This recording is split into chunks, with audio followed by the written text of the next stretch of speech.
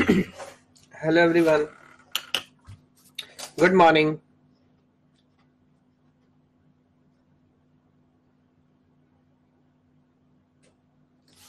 यार, ये सुबह सुबह किस तरह की बातें करते हो तुम लोग? यार, मुझे समझ नहीं आ रही होती।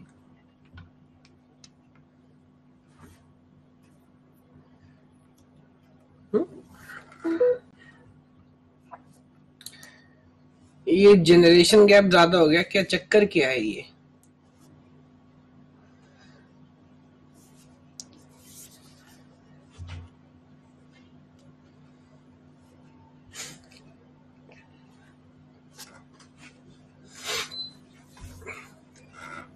चलिए, खैर, कोई बात नहीं।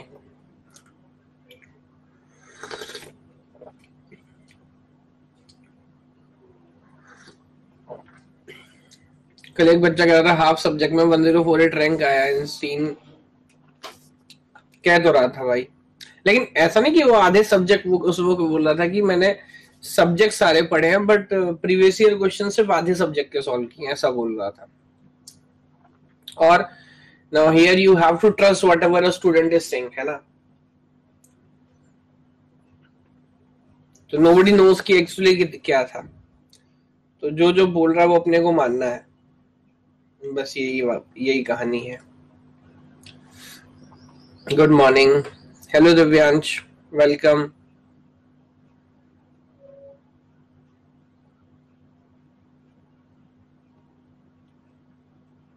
thank you so much happy अच्छा इसलिए आप छोटा हैप्पी बन के आ गए। थैंक यू सो मच नहीं, उससे मुझे बहुत फ़ायदा हुआ। कल की क्लास में काफ़ी बच्चे थे। अच्छा सी एस के कल जीत गया। मैं, मेरा जो, क्या बोलना चाहिए? मेरा जो रिकॉर्ड है वो बना रहा।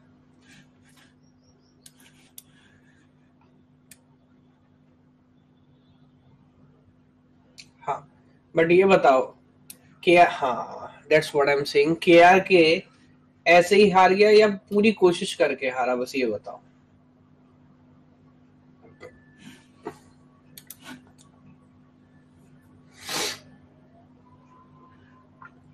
It? तो बहुत अच्छी फाइट की है, कोई टेंशन नहीं। थर्टी नाइन पे फाइव थे, और उसके बाद दो सौ रन बनाया।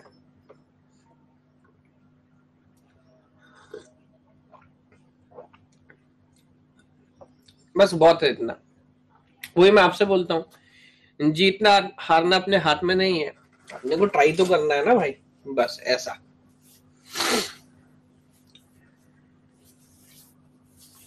ठीक है, आज किस किस का मैच है? किस किस का मैच है आज? आरसीबी का, राजस्थान का। यार आरसीबी कितना आरसीबी तो अभी शायद कोई मैच नहीं हारी है। Good morning Chiranjeevi ji. Chiranjeevi, यार आप इवनिंग क्लास में नहीं आते क्या?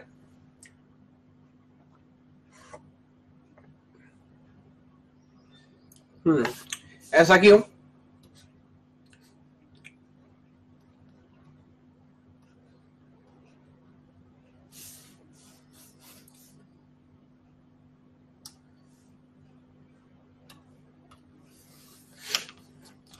आरसीबी मतलब ट्रू फॉल्स ओ, तेरी। ये क्या कर रहे हो?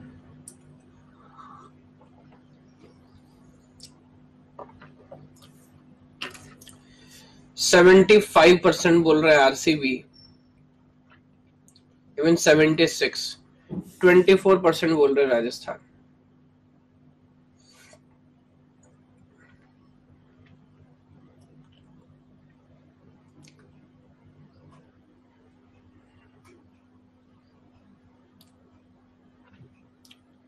एक आवर तीन मिनट का है। अच्छा थर्टी मिनट मुझे तो पता लगा यार, ये कौन सी गणना की है इन्होंने? एक आवर तीन मिनट की। ये पहली बार मैं सुन रहा हूँ।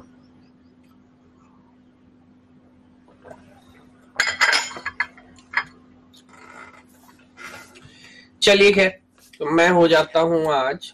बस ये बताओ, राजस्थान का कैप्टन कौन है?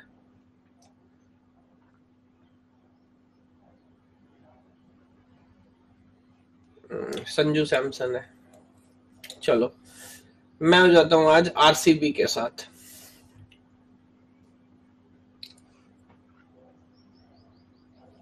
अब बड़ा सोचना पड़ेगा आज आरसीबी को, क्योंकि मैं जिसके साथ होता हूँ, उसकी लुटिया डूब जाती है।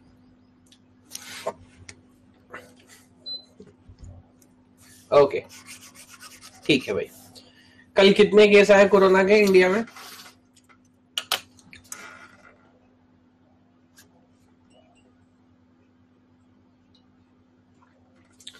तीन लाख प्लस है ना? तो शायद दुनिया के किसी भी देश में कभी भी ये आज तक के हाईएस्ट केस एवर रिकॉर्डेड है। आज तक कभी ऐसा नहीं हुआ। चाइना, अमेरिका, सबसे पहले कहाँ फैला था? फ्रांस, इटली, वुहान, जर्मनी, कहीं नहीं। तो देखिए, इससे पता लगता है। कि अगर मन में इच्छा शक्ति हो और कुछ कर गुजरने का जज्बा हो तो रिकॉर्ड तोड़ा जा सकता है।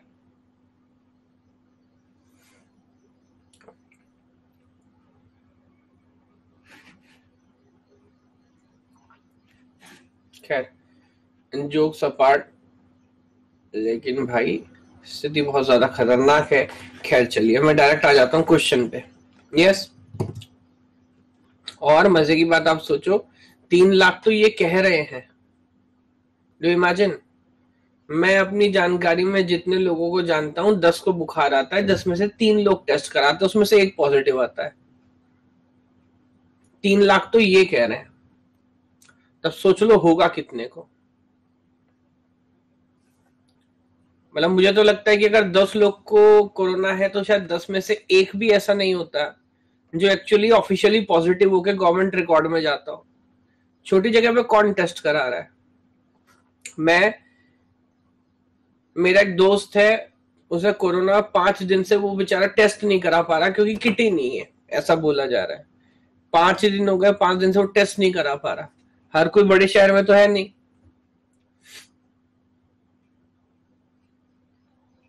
बहुत बुरा हाल है।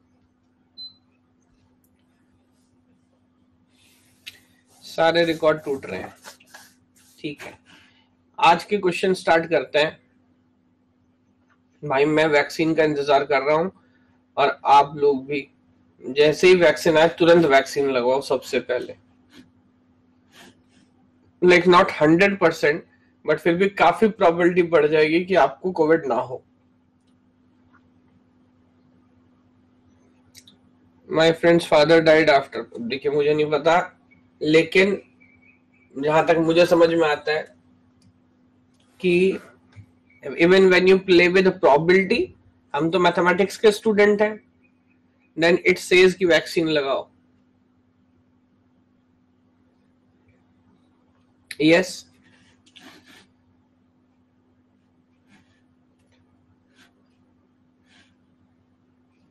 ठीक है, थोड़ा फीवर आएगा, देख लेंगे। ये क्वेश्चन बताइए, चलिए वेरी गुड आज की शुरुआत करता हूँ कुछ क्वेश्चन सॉल्विंग के साथ। हालाँकि इतना मुश्किल नहीं है।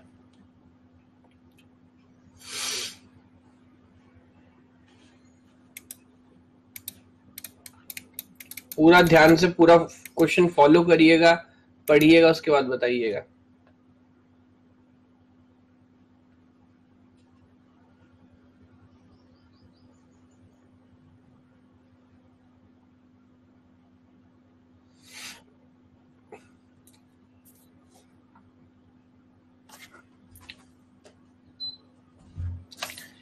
देख रहे हो, मेरी हिम्मत देख रहे हो, आज मैं पहले क्वेश्चन से ही मूड में आया हूँ कि कुछ ना कुछ पकड़ के जाऊँगा।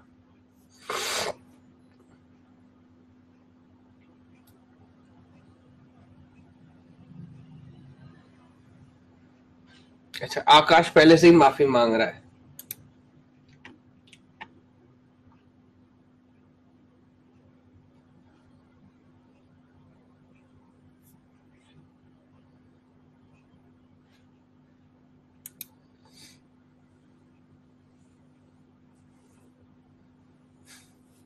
ये आधे लोग सॉरी क्यों बोल रहा है? आप देखो तो इफ़ेक्ट देख रहे हो। मैं किसी को कुछ नहीं कह रहा।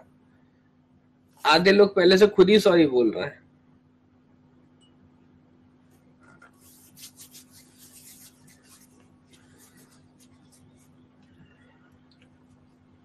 जबकि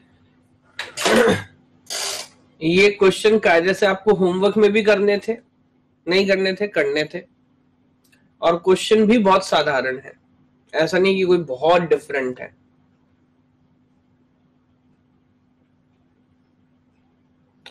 सेवेंटी नाइन से फिफ्टी टू हो गया है बहुत अच्छे। फीवर हो गया चलिए फीवर हुआ है तो भाई अपना ख्याल रखो हेल्थ इज़ फ़र्स्ट बाकी सब चीज़ तो सेकेंडरी है। चलो जरा देखते हैं क्या बोल रहा है। Let G be a weighted connected undirected graph बहुत सारे कंडीशंस इसने लिख दिए। कह रहा है वेटेड है कनेक्टेड है अनडायरेक्टेड है, यही सब हमें चाहिए।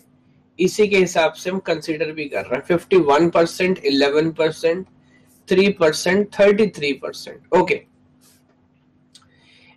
every edge weight is increased by same value, then which of the following statement is or are true? कह रहा है, अगर हर एज का जो वेट है, वो सेम वैल्यू से इंक्रीज हो जाए तो रिज़ल्ट क्या होगा? पी कह रहा है minimum spanning tree of G does not change minimum spanning tree change नहीं होगा and then shortest path between any pair of vertex does not change shortest path change नहीं होगा। कोई भी एक ऑब्जर्वेशन ले लेते देखिए, अब एक बात समझिए। स्पैनिंग ट्री जो है if I take any graph now that is a, b, c, d, and again one two three and uh, let me say seven. Correct Abhishek very good अब आप मुझे बताएँ जो स्पैनिंग ट्री है वो बड़े या छोटे वैल्यू को एब्सोल्यूट वैल्यू को देखता है या रिलेटिव वैल्यूज़ को देखता है? रिलेटिव तो स्पैनिंग ट्री का काम है रिलेटिविटी के ऊपर खेलना है ना? उसे फ़र्क नहीं पड़ता, बल्कि मैं काम करता हूँ। Let me make this hundred this two hundred this three hundred this seven hundred शायद उससे बेटर विजुअलाइज आप कर पाओ। तो फ़िलहाल, अगर मैं स्पैनिंग ट्री की बात करूँ इस ग्राफ में तो कैसे बनेगा स्पैनिंग ट्री बताओ? आई थिंक ये वाला लोगे आप ए से बी बी से सी और सी से डी बिकॉज़ उस केस में 100 प्लस 200 प्लस 300 ओवरऑल 600 होगा। सही बात है? तो एक बात समझो, ऐसा सोचने में तो लगता है 100 is a bigger value but अपने को फ़र्क नहीं पड़ता। अगर मैं बाकी वैल्यूज़ देखता हूँ तो वो सिक्स टू हंड्रेड है थ्री हंड्रेड है सेवन हंड्रेड है तो उन सबके आगे तो छोटा है। है ना? तो पहला है कि spanning tree does not change अगर हर वैल्यू की कॉस्टिंग आप सेम वैल्यू से बढ़ा दो। तो आप ऐसा समझिए, अगर मैं इन सब में मान लीजिए प्लस फाइव कर देता हूँ plus five plus five plus five and plus five तब आप मुझे बताओ इनका जो रिलेटिव वैल्यू है आपस में, क्या वो अब भी सेम ही है? क्योंकि सबको सेम वैल्यू से हमने इंक्रीज किया है इजेंट इट यस अगर सबको सेम वैल्यू से इंक्रीज किया है तो जो पहले छोटा था, वो बाद में भी छोटा रहेगा। जो पहले बड़ा था, वो बाद में भी बड़ा रहेगा। क्या बात समझ पा रहे हैं क्या सब लोग?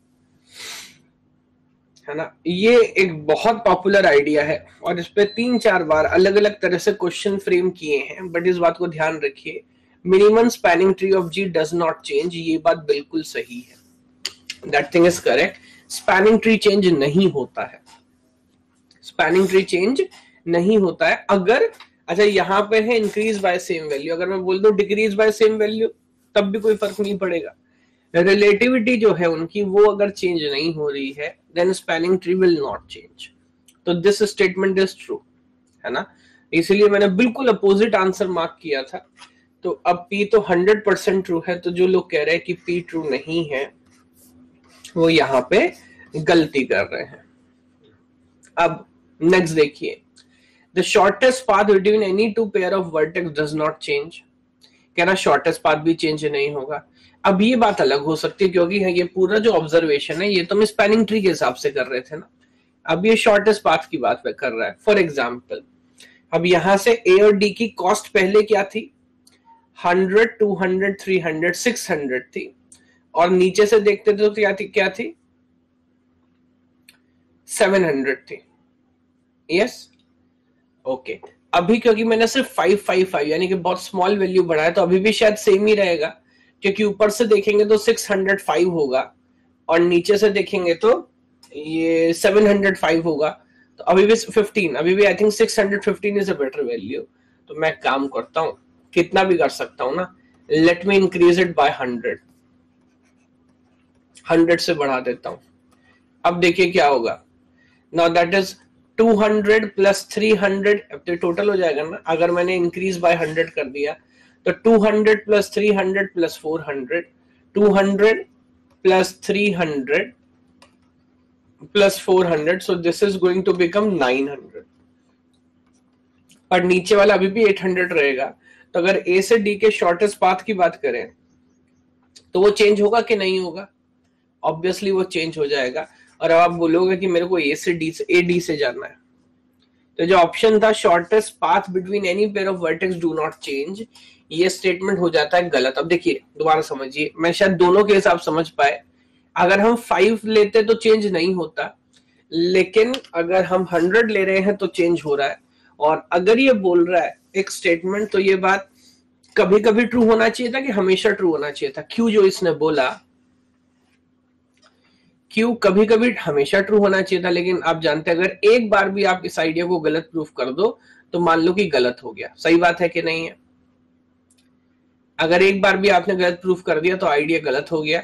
यस तो हमारे पास एग्ज़ाम्पल है जिससे हम प्रूफ कर पा रहे हैं कि स्टेटमेंट क्यों गलत है। इसका मतलब ये 33 परसेंट लोग भी गलत ऑब्जर्वेशन कर रहे हैं। करेक्ट आंसर हो जाता है ए इसको अगर अभी भी शायद हो सकता है कुछ लोग कंफ्यूज हो कि सर ये कैसे हो रहा है। इस बात को ऐसे समझिएगा। अगर आप हर एज को हर एज में कुछ चेंज करें इमेजिन करिए और थोड़ा सा कॉम्प्लेक्स केस बनाता हूँ। ऐसे सोचिए। अब this is source and this is destination अगर मैं नीचे वाले के थ्रू जा रहा हूँ तो सिंगल एज है number of edge only one है। अगर ऊपर वाले रास्ते जा रहा हूँ one two three four five six edges है। Yes yes? अब सोचिए, अगर मैं प्लस एक्स करता हूँ, इसमें एक्स इंक्रीज होगा, लेकिन उसमें एक्स इंक्रीज होगा या सिक्स एक्स इंक्रीज होगा? क्योंकि हर एज में एक्स बढ़ेगा। उसमें सिक्स एक्स इंक्रीज हो जाएगा। तो ज़ाहिर सी बात है कि इससे होगा क्या? वो रास्ते जिसमें नंबर ऑफ़ एजेस ज़्यादा है, उन्हें भारी नुकसान होगा। यस और नो वो रास्ते जिसमें नंबर ऑफ़ एजेस ज़्यादा है, उन्हें भारी नुकसान होगा। तो हो सकता है आप रास्ता बदल भी ले, जैसा यहाँ हुआ। सोच पा रहे हैं क्या? नीचे वाले में हाँ मुझे लग रहा था कि हो सकता है कुछ को कंफ्यूजन इसलिए मैं दोबारा बता रहा हूँ। नीचे वाले में सिंगल एस था तो उसे सिर्फ़ हंड्रेड का पेनल्टी लगा। लेकिन ऊपर वाले में तीन एस था तो उसे थ्री हंड्रेड का पेनल्टी लगा। तो इसलिए आप ऊपर से नीचे आ गए। सोचो, जिस पाथ में जितनी ज़्यादा एजेस होंगी, उस पाथ को उतना हैवी पेनल्टी लगेगा। है ना? बिकॉज़ ऑफ़ विच जो शॉर्टेस्ट पाथ है वो चेंज हो सकता है बट स्पेनिंग ट्री चेंज नहीं होता क्योंकि जैसे मैं आपसे बोल रहा हूँ, वो तो रिलेटिव खेल रहा है। उसे फ़र्क नहीं पड़ता कि वैल्यूज़ किस तरह से बिहेव कर रही है। वो सिर्फ़ रिलेटिविटी के हिसाब से देख रहा है कि जो छोटा था वो अभी भी छोटा है, जो बड़ा था वो अभी भी बड़ा है। अब बताएँ, एक बार पूरा पॉइंट क्लियर हो रहा है क्या?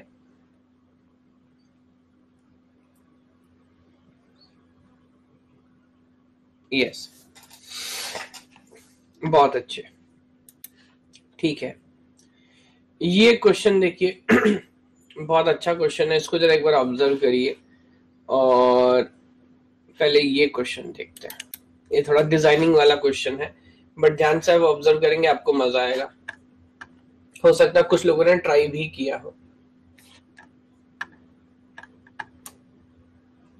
Yes. Now that is a gate previous year question two अच्छा ये फोर मार्क लिंक क्वेश्चन पूछा गया था, बहुत ही साधारण क्वेश्चन है। 2011 में टू मार्क में क्वेश्चन पूछा गया था। इसको जरा ऑब्ज़र्व करें एक बार। हालाँकि, मैं मान के चल रहा हूँ कि आपने पहले ज़रूर इसे करने की कोशिश की होगी। नहीं की तो एक बार पूरी बहादुरी से अभी पढ़ने की कोशिश करिए। और मुझे बताइए, क्या बोल रहा है, कैसे बोल रहा है? फिर इसको ऑब्ज़र्व करते हैं।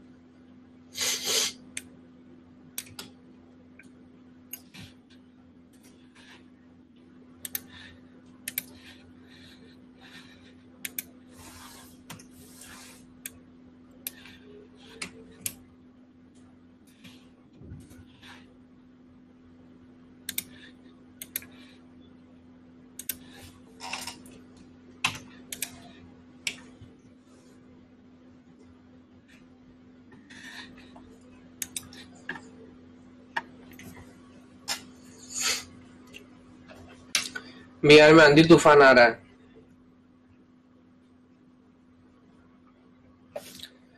लालू की जमानत भी हो गई है ना अब तो शायद हम्म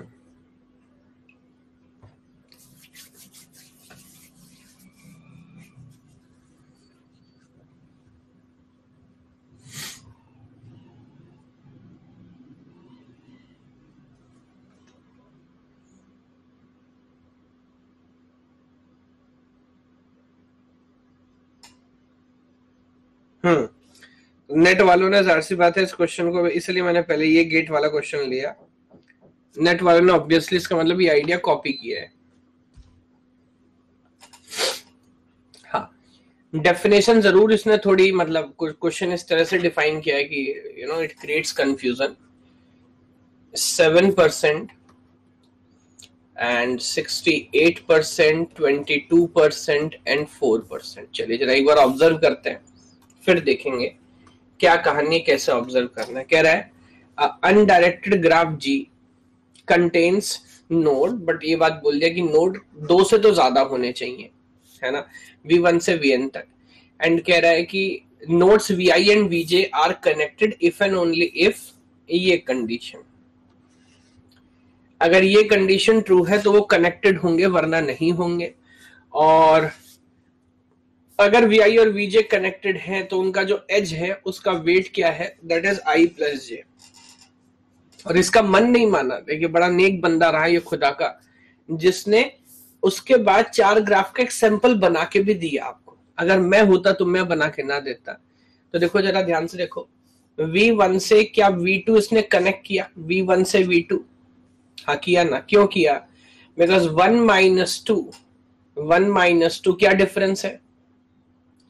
One minus two is minus one but mod लगाओगे तो दोबारा वन बनेगा, है ना? और अगर कनेक्टेड है तो वन प्लस टू वेट कितना हो गया? थ्री सिमिलरली वन थ्री से भी कनेक्ट होगा? जी हाँ होगा। इस आइडिया से थ्री से भी कनेक्ट होगा। सो वन और थ्री आप कनेक्ट करोगे now that will become four क्या वन फोर से कनेक्ट होगा? फोर से। नहीं। Why because one minus four that become minus three आप मॉड लगाओगे तब भी थ्री बैठेगा तो वो कनेक्ट नहीं होगा। ठीक है? तो वन के बाद टू तब आप ऑब्ज़र्व कर सकते हैं। टू थ्री से होगा और फोर से होगा। लाइक like दिस पहले ये लिख लेता हूँ। So that is five and that is six अब थ्री किससे होगा? एक पैटर्न समझना होता है उसके बाद तो बात समझ आने लगती है। फोर किससे होगा? थ्री uh, किससे होगा? फोर से होगा और फाइव से होगा। यस फोर किससे होगा? थ्री से होगा फाइव से होगा। और सिक्स से होगा। इसी तरह से ऑब्जर्वेशन आगे बढ़ता जाएगा, अगर आप सोचेंगे तो। देखिए रिलेट कर पा रहे हैं क्या? Okay okay. यहाँ तक का अगर वेट फाइनल करूँ तो नाउ दैट इज़ ये हो जाएगा सेवन ये हो जाएगा एट ये हो जाएगा नाइन ये हो जाएगा इलेवन और ये हो जाएगा टेन दोनों के नंबर को सम करना है, वही वेट है। अगर इतने छोटे से क्योंकि बात एमएसटी की की जा रही है अगर इस छोटे से आइडिया में आपसे बोलूँगा स्पैनिंग ट्री बनाओ। Again Kruskal will make sense जो सबसे जल्दी आपको हेल्प करेगा। थ्री में ले सकता हूँ। थ्री के बाद फोर लूँगा। अब थ्री लूँगा फोर लूँगा तो this five goes out of option क्योंकि it will lead to a cycle तो उसके बाद मेरे पास कोई ऑप्शन नहीं बचता just to go with this six अब थ्री लिया फोर लिया सिक्स लिया now this seven goes out of option क्योंकि again it will lead to a cycle तो मैं एट लूँगा। Then again this nine goes out of option then I will take this ten this eleven goes out of option तो symmetry आपको नज़र आ रही है कि बीच वाले जितने डायगोनल टाइप हैं जो कनेक्ट कर रहे लेफ़्ट को राइट से, वो नहीं कोई भी हम ले पाएँगे और बस ये या तो लेफ़्ट वाले या तो राइट वाले, इस तरह से कनेक्शन स्टेब्लिश होगा। फॉलो कर पा रहे हैं क्या?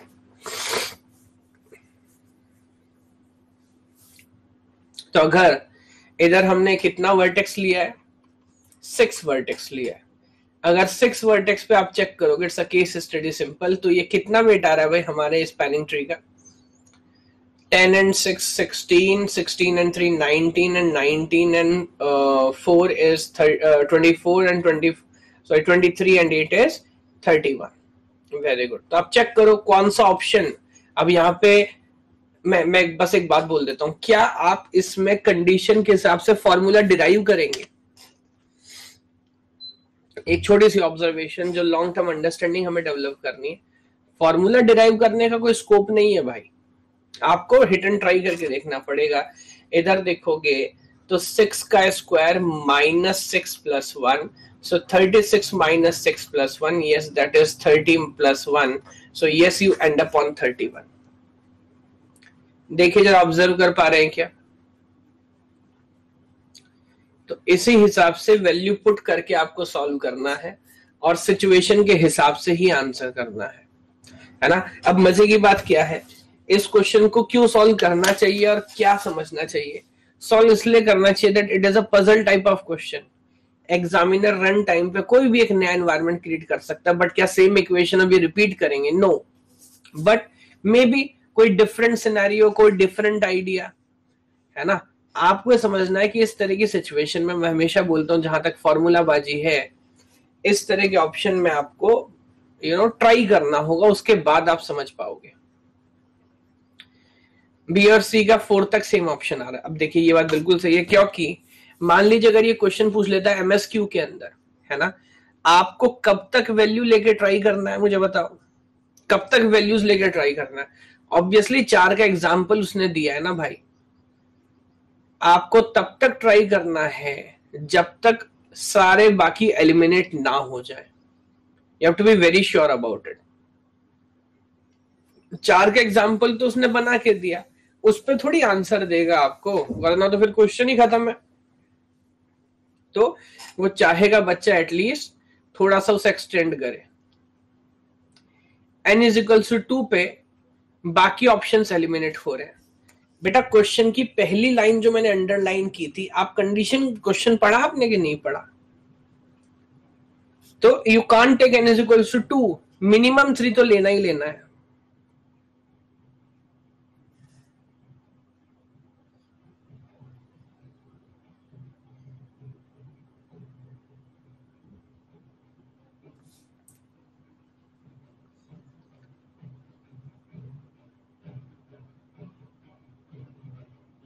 तो बताएँ मुझे, मैं मैं अगेन क्वेश्चन को इंपॉर्टेंट नहीं बता रहा अप्रोच को इंपॉर्टेंट बता रहा हूँ। You have to try you know different different ideas different different values and based on which you have to derive to an conclusion समझ पा रहे हैं सब लोग?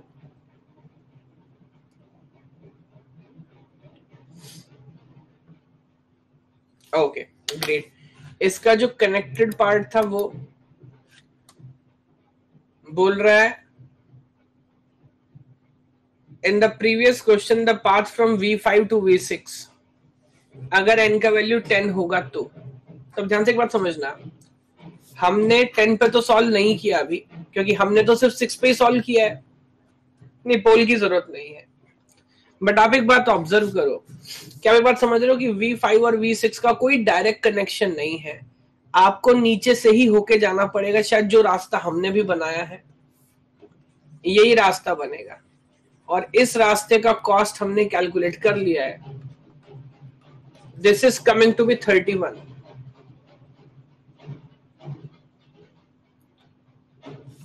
यहाँ पे आंसर सी होने वाला है।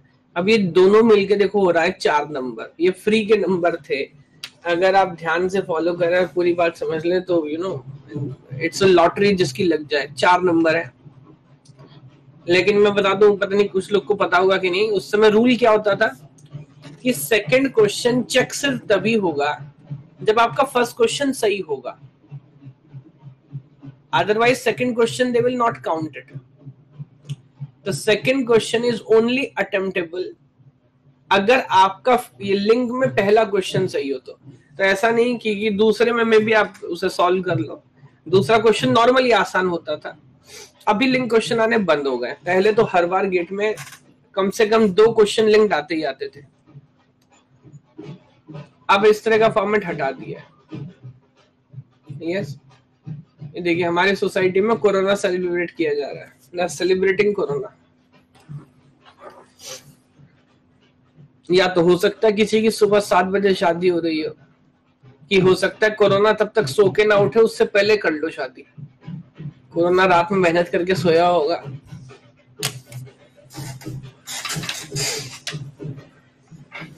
गजब देश है भाई। चलिए, आगे बढ़ते हैं।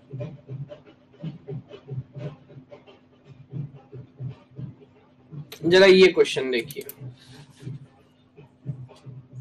गेट 2015 टू मार्क क्वेश्चन है। बहुत सिंपल पैटर्न वाला क्वेश्चन है।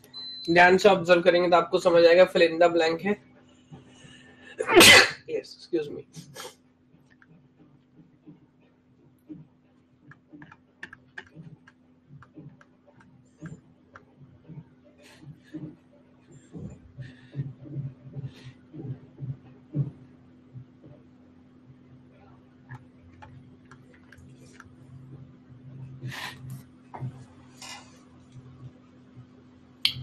क्या आंसर है नाइन नाइन फाइव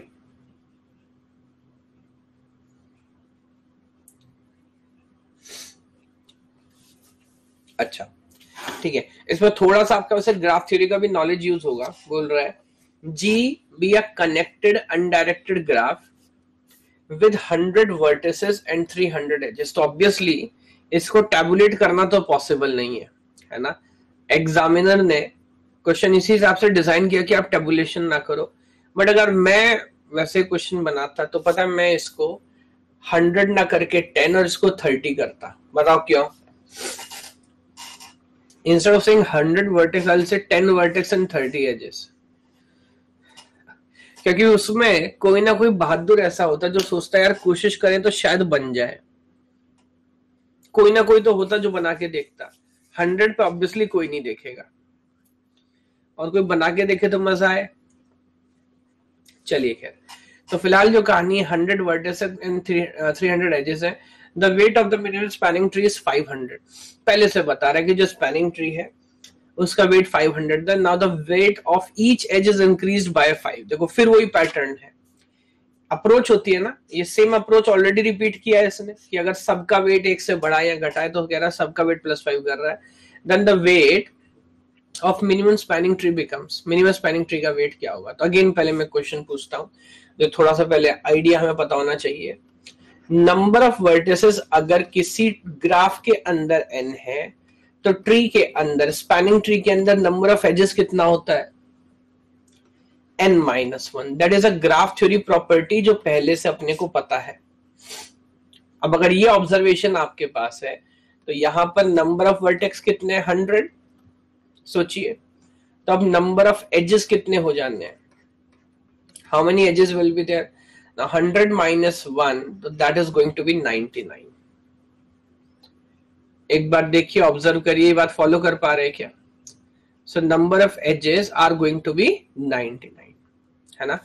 अब आपको ये पता है, हमें नहीं पता इसने किस तरह से चूज़ किया है बट 99 एजेस के बाद जो फ़िलहाल आपका वेट था, वो है 500 और हर किसी का वेट प्लस फाइव हुआ। अब आप मुझे फिर वो कहानी बताओ। अगर ट्री के अंदर हर किसी का वेट प्लस फाइव हुआ है, पूरे ग्राफ के अंदर तो ट्री सेम रहेगा कि चेंज होगा? पहले ये समझना है ट्री सेम रहेगा। बिकॉज़ फ़ायदा है तो सबका है, नुकसान है तो सबका है, हमारा ट्री रिलेटिव है। तो tree is going to be same अब आपके पास 99 एजेस है तो आप पे कितने का पेनल्टी लगा? 99 नाइन इंटू फाइव क्योंकि हर किसी को प्लस फाइव करना पड़ा है। That is going to be 495 और 500 वेट पहले से आपका था।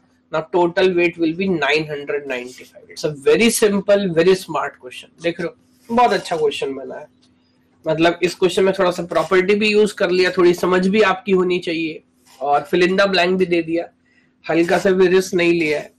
तो अगर आप ठीक ठाक लेवल पे पढ़ के आए हैं तो ये क्वेश्चन आप सॉल्व कर सकते हैं। ये कोई लाइक लाइक ऐसा नहीं है कि जैसे आप सॉल्व कर ही ना सको kind of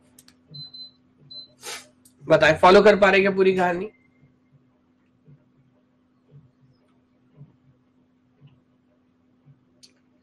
Very so answer is 995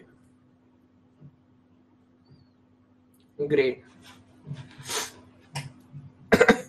अच्छा एक बात यार मैं आपको बताना भूल ही गया। थ्री हंड्रेड एजेस क्या है सर क्या है मतलब? सिर्फ़ कंफ्यूज करने के लिए इसने दिया है। उन 300 एजेस का कोई यूज़ है क्या डायरेक्ट नहीं। उसने सिर्फ़ बताया कि एक ग्राफ में 100 वर्टेक्स और 300 एजेस है। बट ये हमें समझना है कि अगर 100 वर्टेक्स है तो स्पैनिंग ट्री के अंदर कितना ही आएगा एजेस 99 आएगा दैट इज़ इट उसके अलावा नहीं होगा कुछ, सोचिए। है ना? तो वो सिर्फ़ आपको थोड़ा सा कंफ्यूज करने के लिए ऐसे लिखा। फॉलो कर पा रहे हैं? ओके ओके ग्रेट मैं ये बोल रहा था, मैं आपको बताना भूल गया यार। पहले जो कोविड केस था ना, मेरे घर से लगभग 50 मीटर्स 40 50 मीटर्स दूर था। बीच में एक पार्क है, पार्क के दूसरी तरफ़, है ना? कल रात में चेक नहीं करता सोसाइटी का मैं व्हाट्सएप ग्रुप चेक कर रहा था। अभी जो लेटेस्ट कोविड केस है, वो जहाँ मैं बैठा हूँ, यहाँ से दस मीटर है। जहाँ मैं बैठा हूँ, सामने रोड है, रोड के सामने जो घर है, उसमें कोविड केस है। लाइन से जितने भी घर है, सब कोविड पॉजिटिव हो गए तो मान लीजिए अभी, बस बीच में रोड रोड के सामने तरफ़ जो घर, उसमें कोविड पॉजिटिव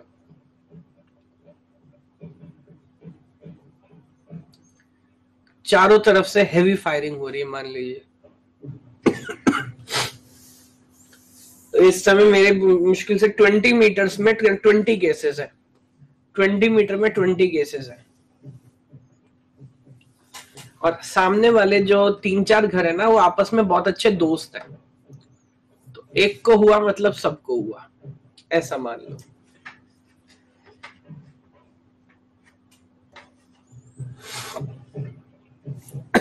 सब स्टेबल है? नहीं।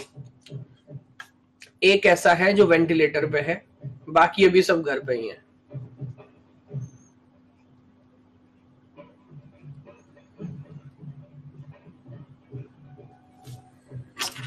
अब जो होगा, वो होगा, लेकिन मैंने, मैं भूल गया, मैंने कहा आपको बताता हूँ। चलिए, आगे बढ़ते हैं। एक और क्वेश्चन ऑब्ज़र्व करिए।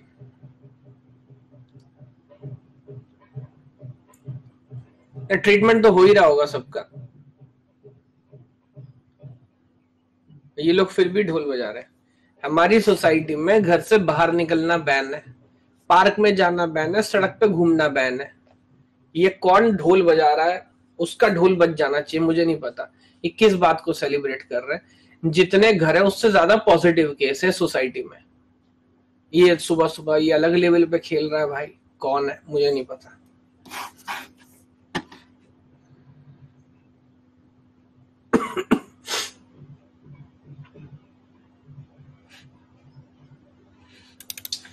ये देखिए जरा गेट 2017 अब आप मुझे बताएँ क्या सेम पैटर्न कॉपी कर दिया इन्होंने। देखो इन्होंने क्या दिमाग लगाया। कंडीशन वर्ड बाय वर्ड छापी। कहते यार, कौन ही करेगा पूरा दोबारा? वी आई वीजे पूरा कंडीशन लिखा। फिर उन्होंने देखा कि दूसरे क्वेश्चन में टेन तक चला गया था। कह रहे, चलो एक काम करते टेन पे पूछ लेते बात खत्म। नहीं। दिमाग देख रहे हो इनका? पार्ट सेकंड में वो वी टेन तक गया था ना, कह रहे टेन पे पूछ लो, खत्म हो जाएगा, अब क्या ही दिमाग लगा है। नहीं पॉइंट ये इसको चेंज नहीं कहते ना, ये वर्ड बाय वर्ड ही लिख दिया इन्होंने। तो खैर, फ़िलहाल अगर ऑब्ज़र्व करेंगे, क्या आंसर है भाई, इसका बताओ। फॉर्मूला तो हमने समझ लिया था। क्या था? N square minus N plus one ऐसा ही था ना क्या फॉर्मूला हमने समझा था अभी। रुकिए। यही था। हाँ N square minus N plus one तो अगर आप वो फॉर्मूला भी अब यहाँ पे डायरेक्ट यूज़ करें तो क्या होगा?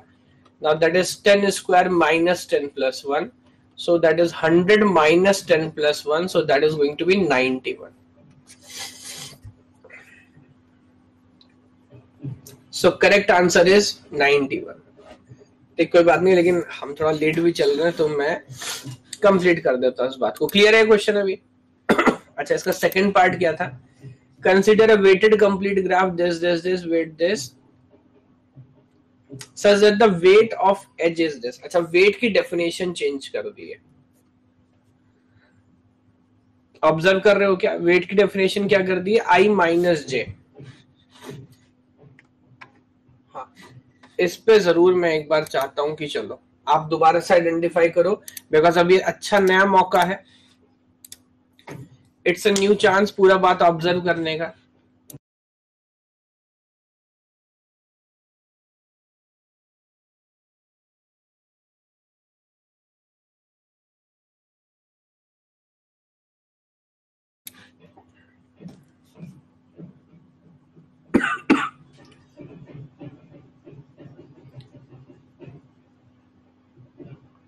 बीच में शायद पॉज हुआ।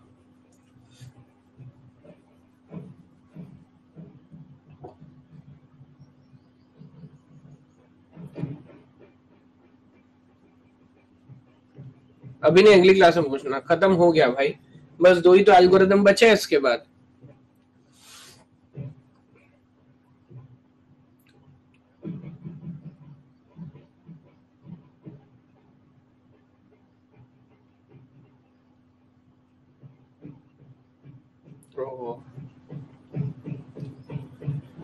भाई अगस्ती जी ध्यान रखो।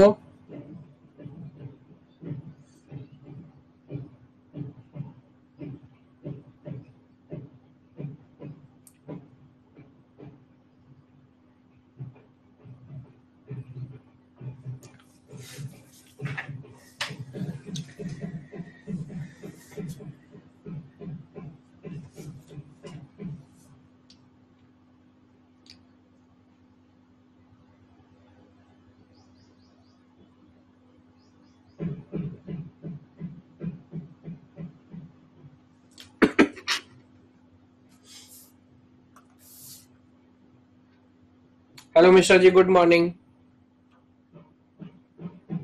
अच्छा तो काफ़ी लोग आंसर कर रहे हैं फोर एन माइनस वन मुझे बताओ, क्या क्या ऑब्जर्वेशन आपने किया इस बार? कैसे you end up on this value three percent three percent ninety percent four percent देखो, कोई ऑप्शन नहीं है है ना? हिट एंड ट्राई करना है एग्जैक्टली exactly. कोई ऑप्शन नहीं हिट एंड ट्राई करके देखना है, क्योंकि वेट की बात किया तो इसने जो बेसिक आइडिया था, वो तो सेम ही रखा कनेक्शन का। बस वेट की डेफिनेशन चेंज कर दिया आई थिंक यही किया है ना। तो आप किसी केस पे इसको ट्राई करके देख सकते हो। ये और कनेक्ट होगा वी फाइव से होगा वी सिक्स से होगा, और आगे जाना चाहो, और आगे चले जाओ। That is V seven and V eight and like this अब देखो क्या बोल रहा है। The weight I minus J into four now mod लगा हुआ है। Now this will be four difference into four कोई बात नहीं, वो आपकी इच्छा है। मैं तो केस बना रहा हूँ। डिफरेंस इंटू फोर है ना। नाउ ये क्या होगा? Two into four now that is eight two into four eight अब आई थिंक बस ये डबल होता जाएगा। ये डिफरेंस भी फोर है, ये तो सब एट एट ही रहेगा शायद।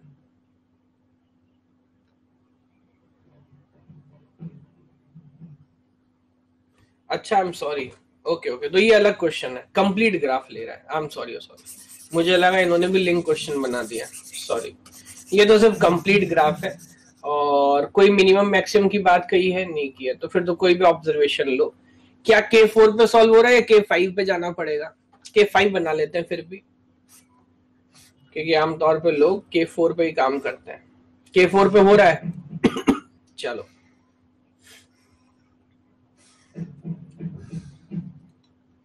नाउ दिस इज़ K5 चलो। Let me say one two three four and five vertex number one vertex number two vertex number three vertex number four vertex number five और इसके हिसाब से वो ऑब्ज़र्व करेंगे तो क्या क्या वेट आएगा? One or two ka difference is one so this is four and this is also four this is four this is four this is four ये तो सब सिंगल सिंगल वाला है now one or two का difference करेंगे तो now this is four uh, like this will be eight two into four is eight one or four का difference three into four is twelve that is done now अच्छा ये मैंने गड़बड़ कर दिया ना। वन और फाइव में four into four now that will be sixteen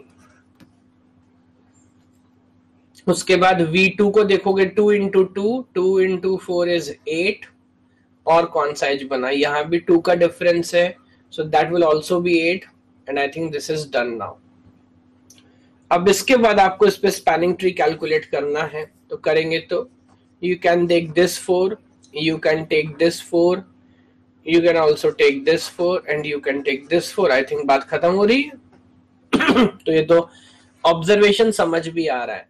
cycle में एक एज कम लेना है तो जितने वर्टेक्स है into four minus four कर दिया क्योंकि लास्ट एज हमने नहीं लिया। और वैसे भी उसका वेट सिक्सटीन था। तो, तो फॉर्मूला क्या जो आइडिया लिख रहा है वो कैसे लिख रहा है ये बात भी समझ आ रही है। देखिए फॉलो कर पा रहे हैं क्या? हम्म। ठीक है। तो अगेन साधारण ऑब्जर्वेशन है। वैल्यू को हिसाब से देखेंगे इन्वेस्टिगेट करेंगे तो आपको बात समझ आएगी।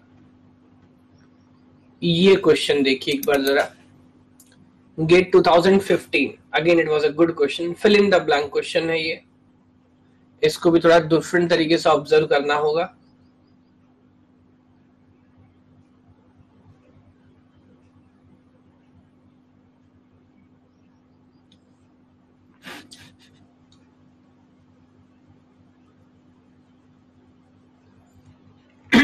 ऐसे क्वेश्चन जो थोड़े ट्रिकी रहते हैं जनरली क्या माइंड सेट रखना है? देखो, पहली चीज़ तो ये कि इन क्वेश्चंस को पहले अटेम्प्ट नहीं करना। Because you never know formula base तो है नहीं तो यू नेवर नो बाद में बनेगा कि नहीं बनेगा। और नहीं बना तो आपके ऊपर बेफालतू में प्रेशर बिल्डअप कर देगा। तो फ़र्स्ट ऑब्जर्वेशन तो यही कि इन क्वेश्चंस को पहले कभी भी ऑब्ज़र्व नहीं करना है। सेकंड ऑब्जर्वेशन ये कि अगेन फॉर्मूला डिराइव करने की कोशिश नहीं करनी। जैसे जैसे सिचुएशन बोल रहा हूँ सिचुएशन को देखना है ऑब्ज़र्व करना है, और उसी के हिसाब से आगे बढ़ना है।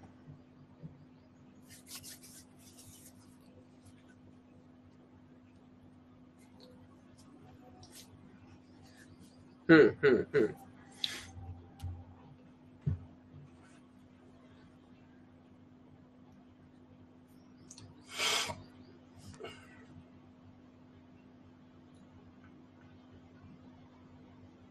वो अभी सॉल्व कर रहे हैं पता लगेगा।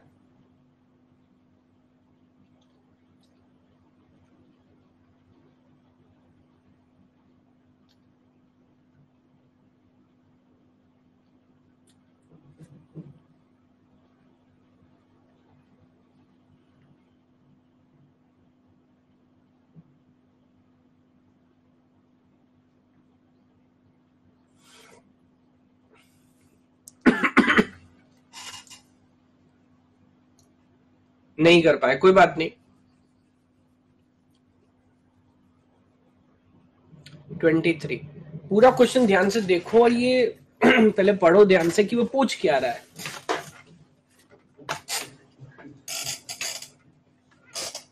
सिर्फ़ जो एजेस पेंडिंग है, उनको पूछ रहा है।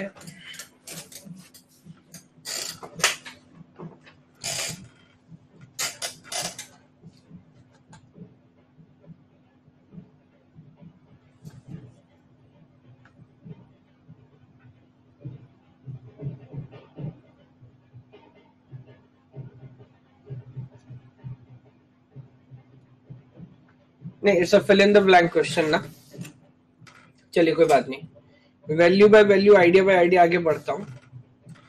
A graph has shown below eight edges eight edges यहाँ पर है। One two three one two three six and two eight yes the minimum spanning tree is of weight 36 containing this this this edges और शायद उन्हीं edges का इसने wait भी लिखा है। देर यू सी ये जो एजेस इसने बनाए हैं, जिनका वेट है उनका जो वेट है वो आ रहा है टोटल थर्टी सिक्स यानी कि इसने पहले से क्वेश्चन को सॉल्व कर लिया है। Yes yes? आगे बोलता है the edge the edge weight of only those edges which are in MST are given below in the figure हाँ समझ भी आ रहा है कि जो इसने एमएसटी में लिया सिर्फ़ उन्हीं का वेट ये बता रहा है। लिखता है the minimum possible sum of weight of all eight edges in the graph is इसका यानी कि अभी पहली बात तो जो लोग कुछ कम आंसर करते हैं ट्वेंटी थ्री और समथिंग ये जो वेट पूछ रहा है, ये किसी एक एज का पूछ रहा है कि टोटल का पूछ रहा है टोटल का, है ना?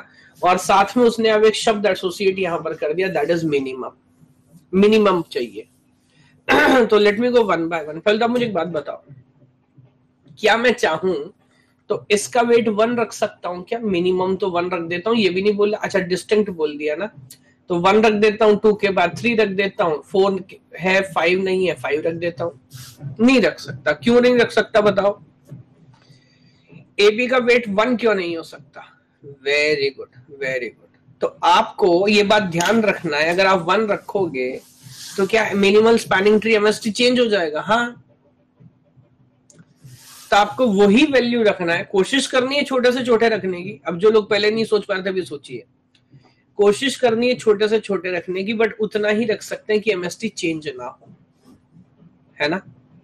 ओके नाउ फॉर एग्ज़ाम्पल यहाँ पे बहुत सारी बातें आप सीखोगे।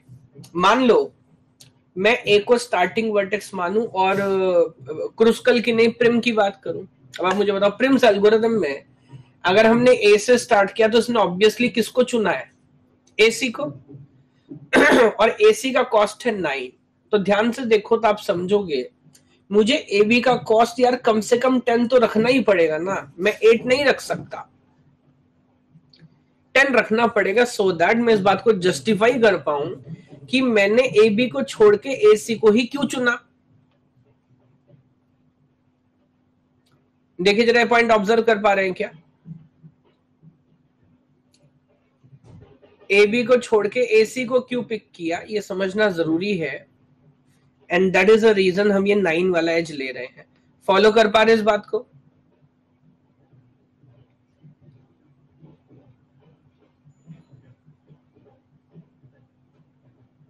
वेरी गुड सेम अप्रोच मैं किधर लगा सकता हूँ? सेम अप्रोच मैं look at this any vertex C D पे लगा सकता हूँ। आप बताओ सी डी का कम से कम कितना वेट होना चाहिए? कुछ लोग कह रहे हैं ज़्यादातर लोग रहे वैसे सिक्सटीन बोल रहे हैं। अच्छा चलो। बट मैं तो ऐसा सोचता हूँ कि मैं इसका वेट थ्री रख लेता हूँ। प्रॉब्लम क्या है?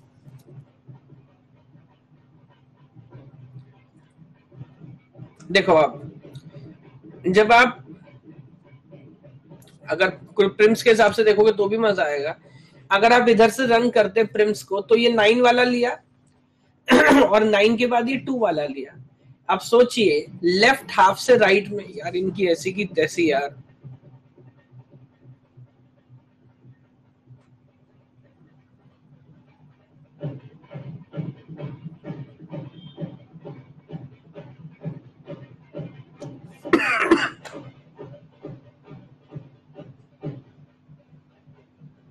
नहीं लिटरली पुलिस को आना चाहिए यार। कोरोना का टाइम में लोग पागल हैं क्या?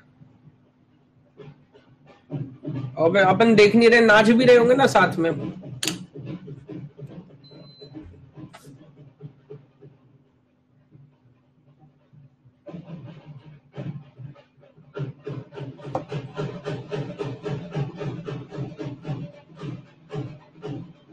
पूरे पूरे जोश में है भाई।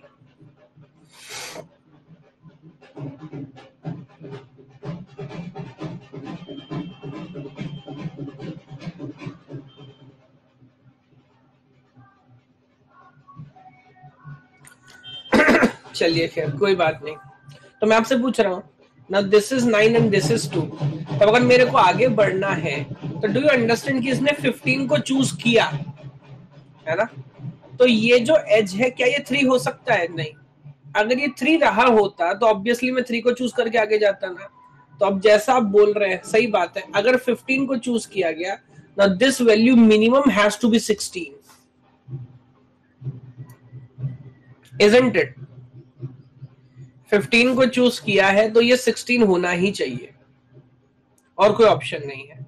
ना सिमिलरली डीई का बताओ, क्या मिनिमम लेंथ आपको लगा कि उससे कम पे गड़बड़ हो जाएगा? यू आर सिंग सेवन अच्छा क्या मैं सिक्स रख सकता हूँ? सिक्स सिक्स में रख नहीं सकता। Because six is already there and आपको डिस्टिंक्टनेस का भी ध्यान रखना है। So can I write five five भी नहीं रख पाऊँगा, क्योंकि फोर और सिक्स ऑलरेडी चूज़ किया गया है। तो इस साइकिल में इट्स ऑब्वियस थिंग कि ये कम से कम सेवन ही रहा होगा सो so दैट आप सेवन छोड़ के फोर और सिक्स को चूज़ कर लिए। अब देखो, ये वो सारे क्वेश्चन हैं जो हम सॉल्व कर रहे हैं, कहीं पे कोई नाम नहीं ले रहा कि प्रिम्स यूज़ कर रहे हैं कि क्रुस्कल यूज़ कर रहे हैं, क्या? लेकिन इन सारे के सारे क्वेश्चन को सॉल्व करने के लिए एमएसटी की प्रॉपर अंडरस्टैंडिंग होगी, तभी आप सॉल्व कर पाएँगे। समझ पा रहे बहुत अच्छा क्वेश्चन है।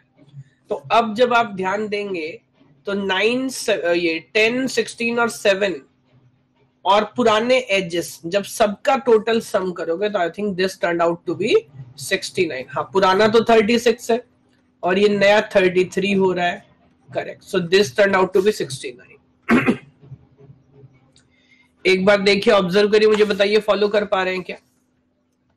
हाँ सिक्सटीन वाला नहीं समझ आ रहा। वेरी गुड देखो, यहाँ पे बहुत अच्छा तरीका है समझने का क्या? आपको सिक्सटीन वाला नहीं समझ आ रहा ना? लेट्स डू लाइक दिस इसको मैं हटा देता हूँ। ये हटा देता हूँ। ये तो टेन हमने डिसाइड कर लिया ना? हमने क्या क्या डिसाइड किया? ये टेन है, ये भी आपको समझ आ रहा। सिक्सटीन नहीं समझ आ रहा। आपको क्या लग रहा है, क्या होना चाहिए? अगर सिक्सटीन नहीं तो क्या? मेरे को तो मिनिमम ट्राई करने का है। यहाँ पे अच्छी बात है कि आप हिट एंड रन करके देख सकते हो ना। थ्री कर सकते हैं। डू वन थिंग आप इसको थ्री करो। और लवजीत जी, मैं आपसे पूछता हूँ, अगर अब हम स्पैनिंग ट्री फाइंड करेंगे मिनिमम स्पैनिंग ट्री तो सीडी वाला एज इंक्लूड होगा कि नहीं होगा? बस इतना बता दो।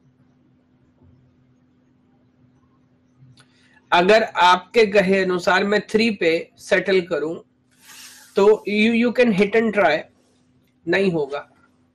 अब ऐसा बोलोगे तो कैसे चलेगा? पहले करके देख लो एक बार।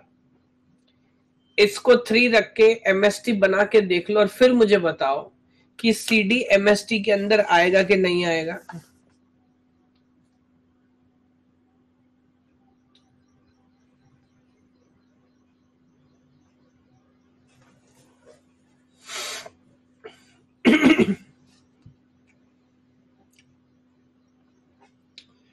क्रुस्कल लगाओ प्रिम लगाओ कॉमन सेंस लगाओ, कुछ भी लगाओ। यार, आप इसको थ्री रखोगे तो सही बात है मिनिमम से भी मैं देखूँगा। तो टू के बाद थ्री ही तो लूँगा और क्या लूँगा?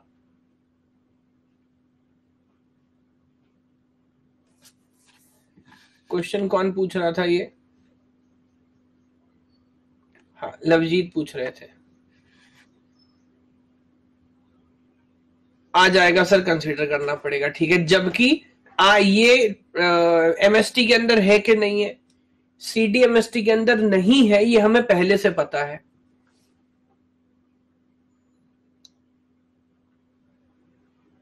इजेंट इट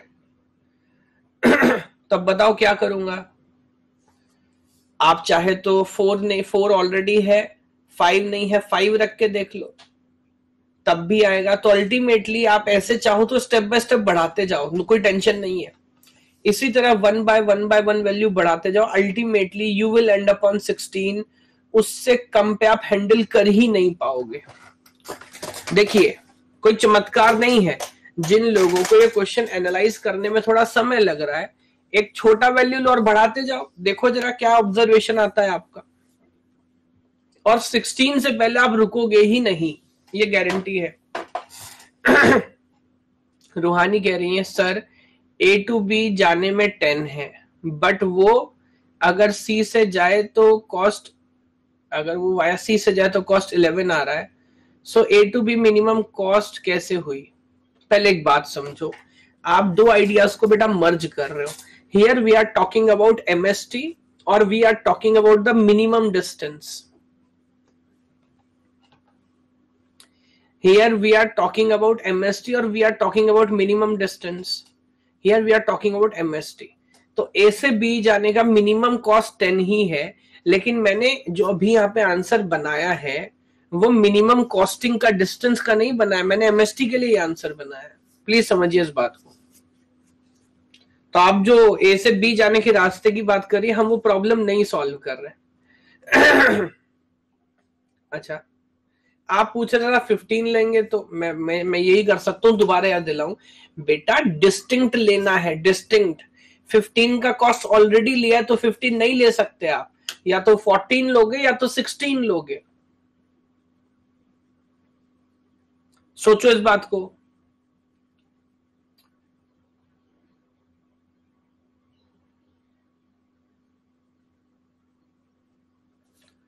ऑब्ज़र्व कर पा रहे हैं क्या?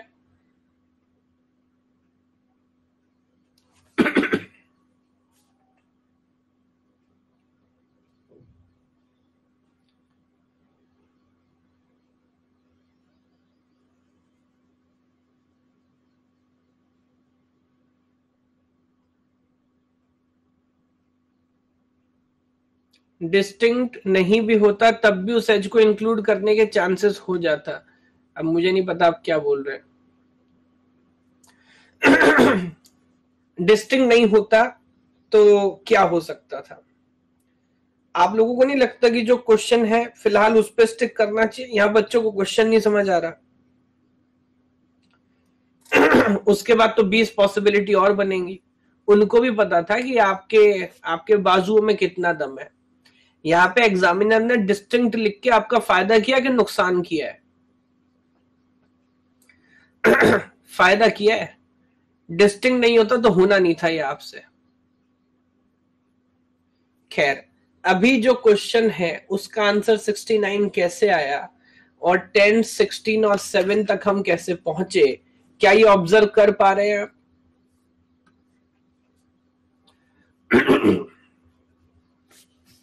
ओके।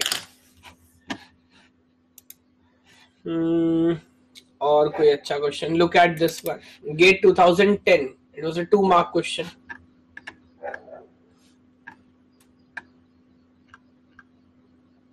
ये बहुत अच्छा क्वेश्चन है। This was I think also a linked question पहले ध्यान से पूरा पैटर्न देखो समझो। फिर बताओ क्या ऑब्जर्वेशन है और किस तरह से आगे बढ़ेगा।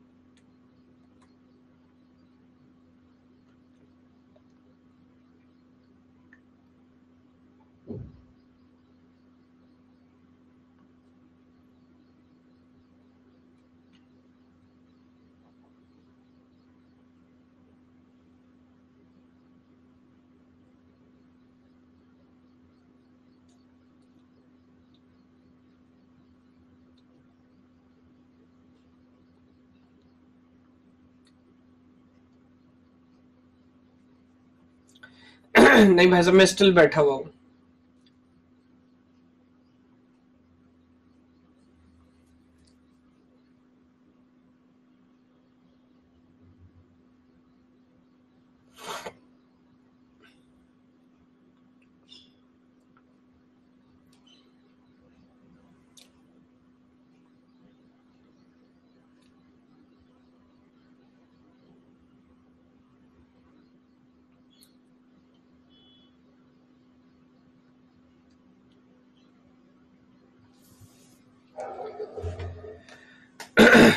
कई लोगों ने सॉल्व किया भी है कंफ्यूजन भी है। क्वेश्चन गेट वाले बहुत अच्छे अच्छे बना रहे हैं। Now this is fourteen twenty nine seventeen and forty बहुत कंफ्यूजन है। क्या हुआ? अच्छा मुझे लगता है, चलो। Consider the complete undirected graph with vertices zero one two three four तो ये आप ऑब्ज़र्व कर पा रहे हैं, एक तरह का मैट्रिक्स इसने आपको बना के दे दिया। तो vertex number zero one two three four और एक तरह की सिमेट्री भी आप देखोगे आपको नज़र आ रही है, ये it's symmetric matrix so obviously it's undirected graph isn't it so zero one two three and four like this we can go.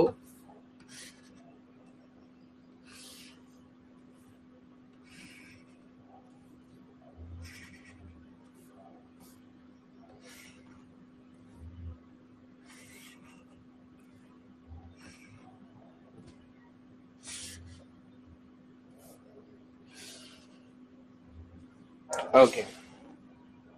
So, this is the observation. अब देखिए, इससे आगे बढ़ते हैं। ज़ीरो से वन का कॉस्ट बना इसलिए रहा हूँ ताकि आप विजुअलाइज कर पाए।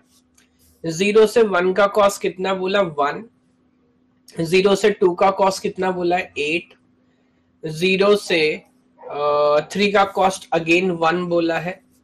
और ज़ीरो से फोर का कॉस्ट बोला है फोर नाउ वन से टू का कॉस्ट है ट्वेल्व वन से थ्री का कॉस्ट है फोर और वन से फोर का कॉस्ट है नाइन। दिस टू से थ्री का कॉस्ट है सेवन और टू से फोर का कॉस्ट है थ्री।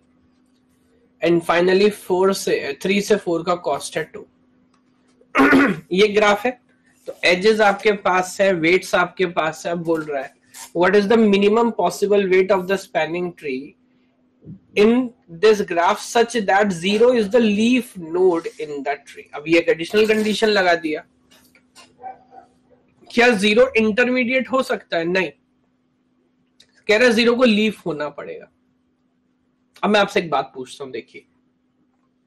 वैसे आप देखोगे, और अगर मैं एक्सक्यूज मी अगर मैं क्रुस्कल अप्रोच यूज़ करता तो मैं ज़ीरो से दोनों वन कनेक्टेड वालों को इंक्लूड करता कि नहीं करता, सोचो।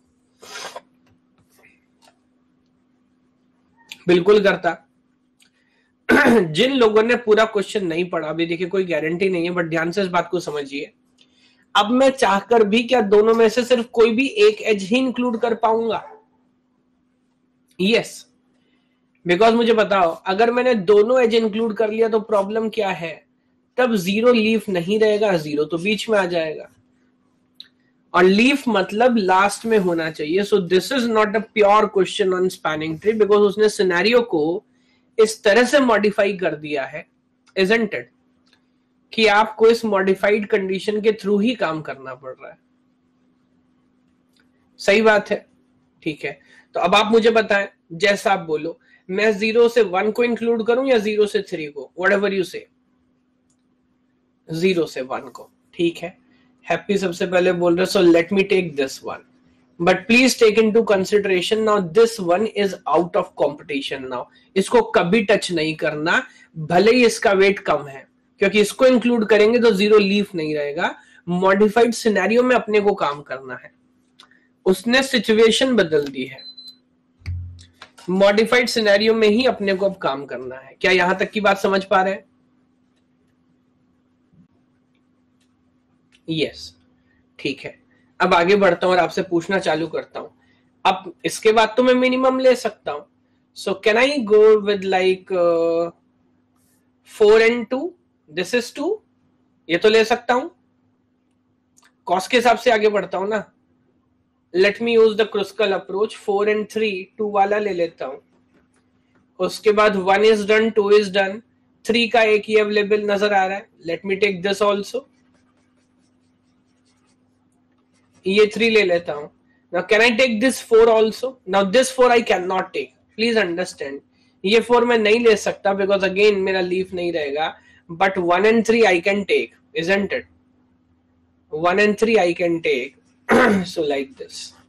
And is it done now? क्या कंप्लीट हो गया और कुछ बचा है कंप्लीट हो गया done so the cost is one this is one plus four plus two plus three so 4 and 3 is 7 and plus 2 is, that's great. Answer हो जाता है 10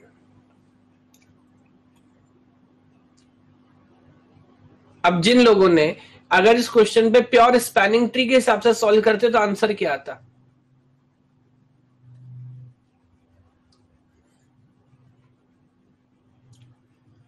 आंसर आता सेवन वो ऑप्शन ए है. तो आप समझ रहे हो उसने ऑप्शन ए क्यों बनाया? वाई ऑप्शन ए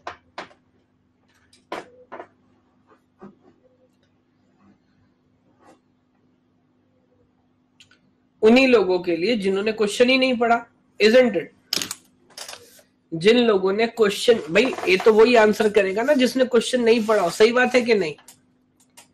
क्योंकि बस, ये देखा होगा मिनिमम स्पेनिंग ट्री बस सर इसके आगे अपन चाह के भी ना कुछ पढ़ पाएँगे, ना कुछ समझ पाएँगे, हो गया क्वेश्चन लेकिन, क्या उसने जो मिनिमल स्पैनिंग ट्री पूछा आपसे, वो एक नॉर्मल स्पैनिंग ट्री था? जी नहीं, उसने सिचुएशन बदल दी और उसने बताया कि किस तरह से आपको कंसिडर करना है सो दैट ज़ीरो लीफ पे रहे. है ना? Okay okay. तो अब आप मुझे बताएँ बाकी इन्होंने एट क्यों आंसर किया, इन्होंने सेवनटीन क्यों आंसर किया? अब जिन्होंने किया वो बता सकते हैं but it's considerable amount ten तो बहुत कम लोगों ने किया है। जस्ट फोर्टी परसेंट बट कोई बात नहीं, अभी लर्निंग क्या है फॉलो कर पा रहे हैं क्या? अच्छा मज़े की बात है कि जितने लिंक क्वेश्चन इसी चैप्टर से नज़र आ रहे हैं। Now, in 2010 this was also a link question for 4 mark.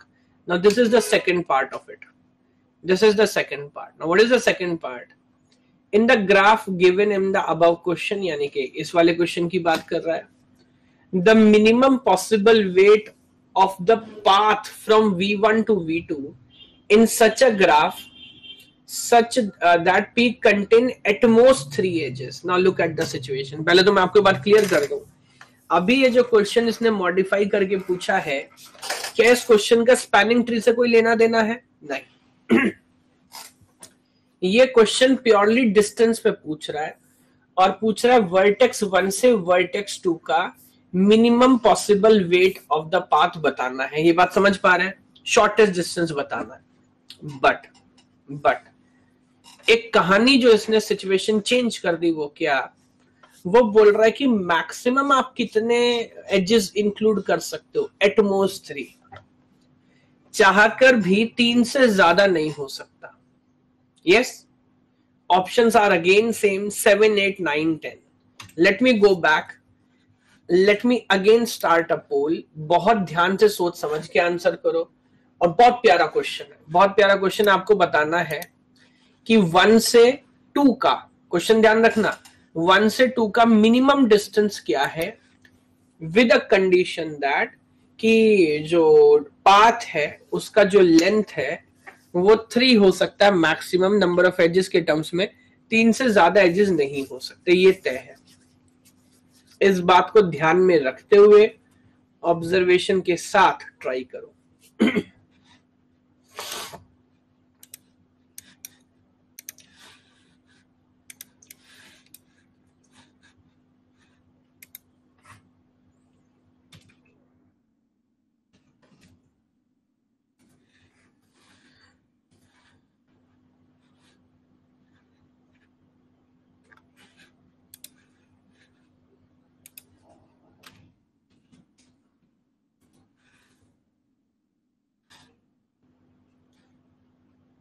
Options are same option same है.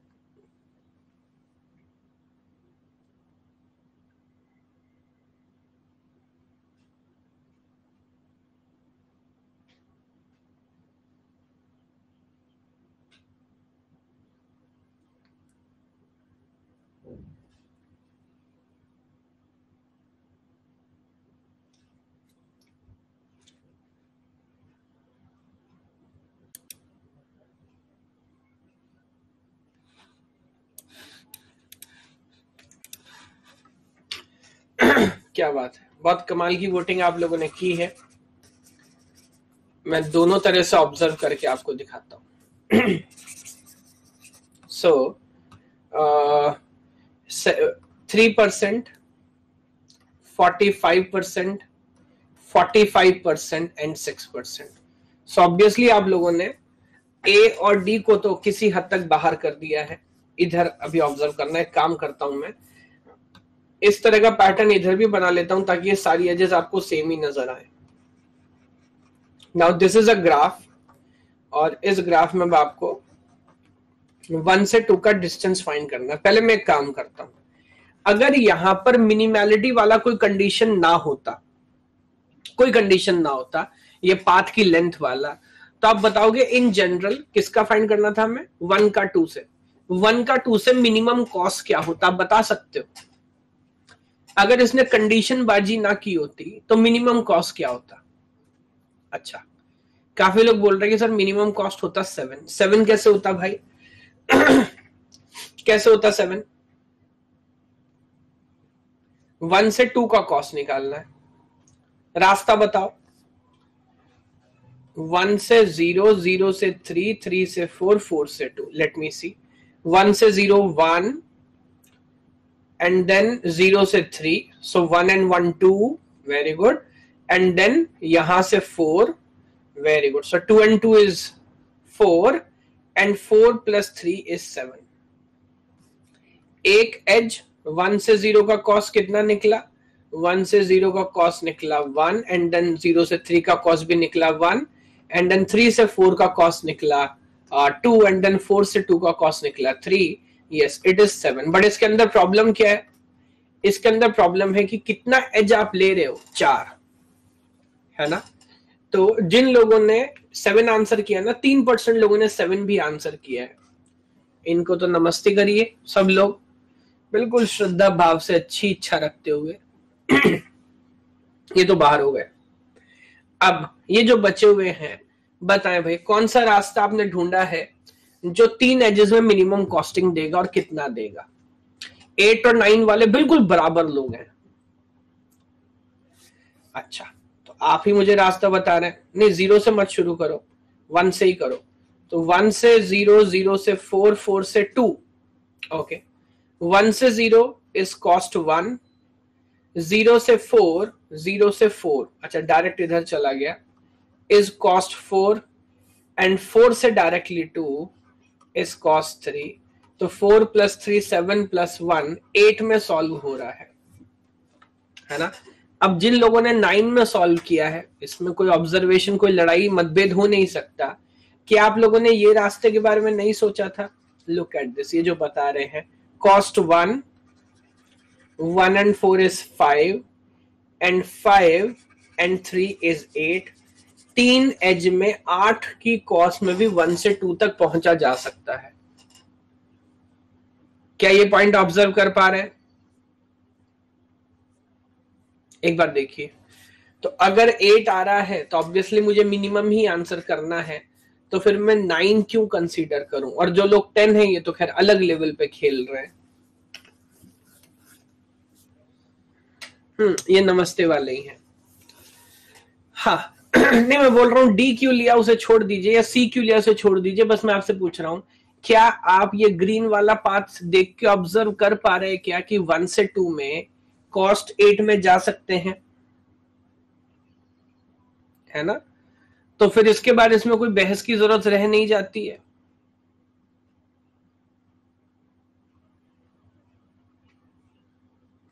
देखिए जरा ऑब्ज़र्व करिए।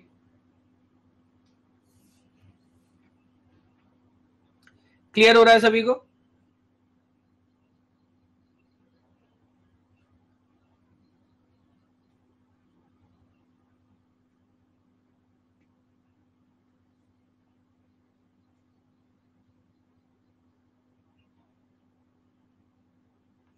ठीक है। अब मैं एक काम करता हूँ पहले, और वो क्या काम करता हूँ? जो सिंगल सोर्स शॉर्टेस्ट पाथ है। है ना? जैसे मैंने बोला, उसके दो एल्गोरिदम है। कौन कौन से? डिचकास्त्रा और बेलमैन फोर्ड है ना?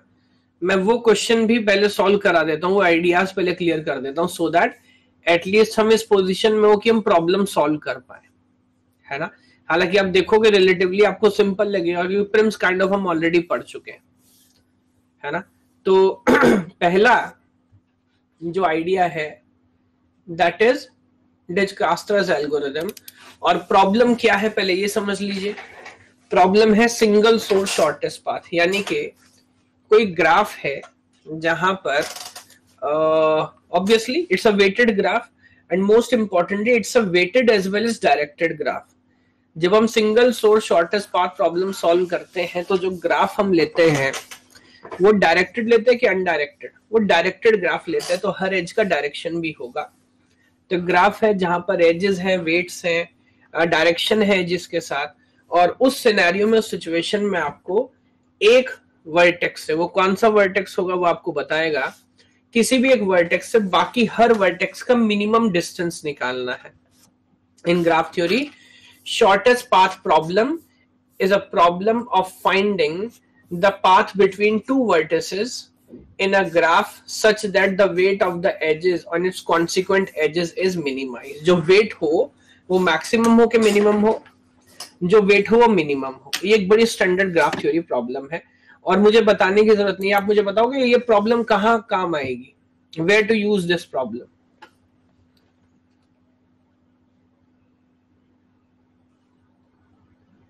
routers में काम आएगी।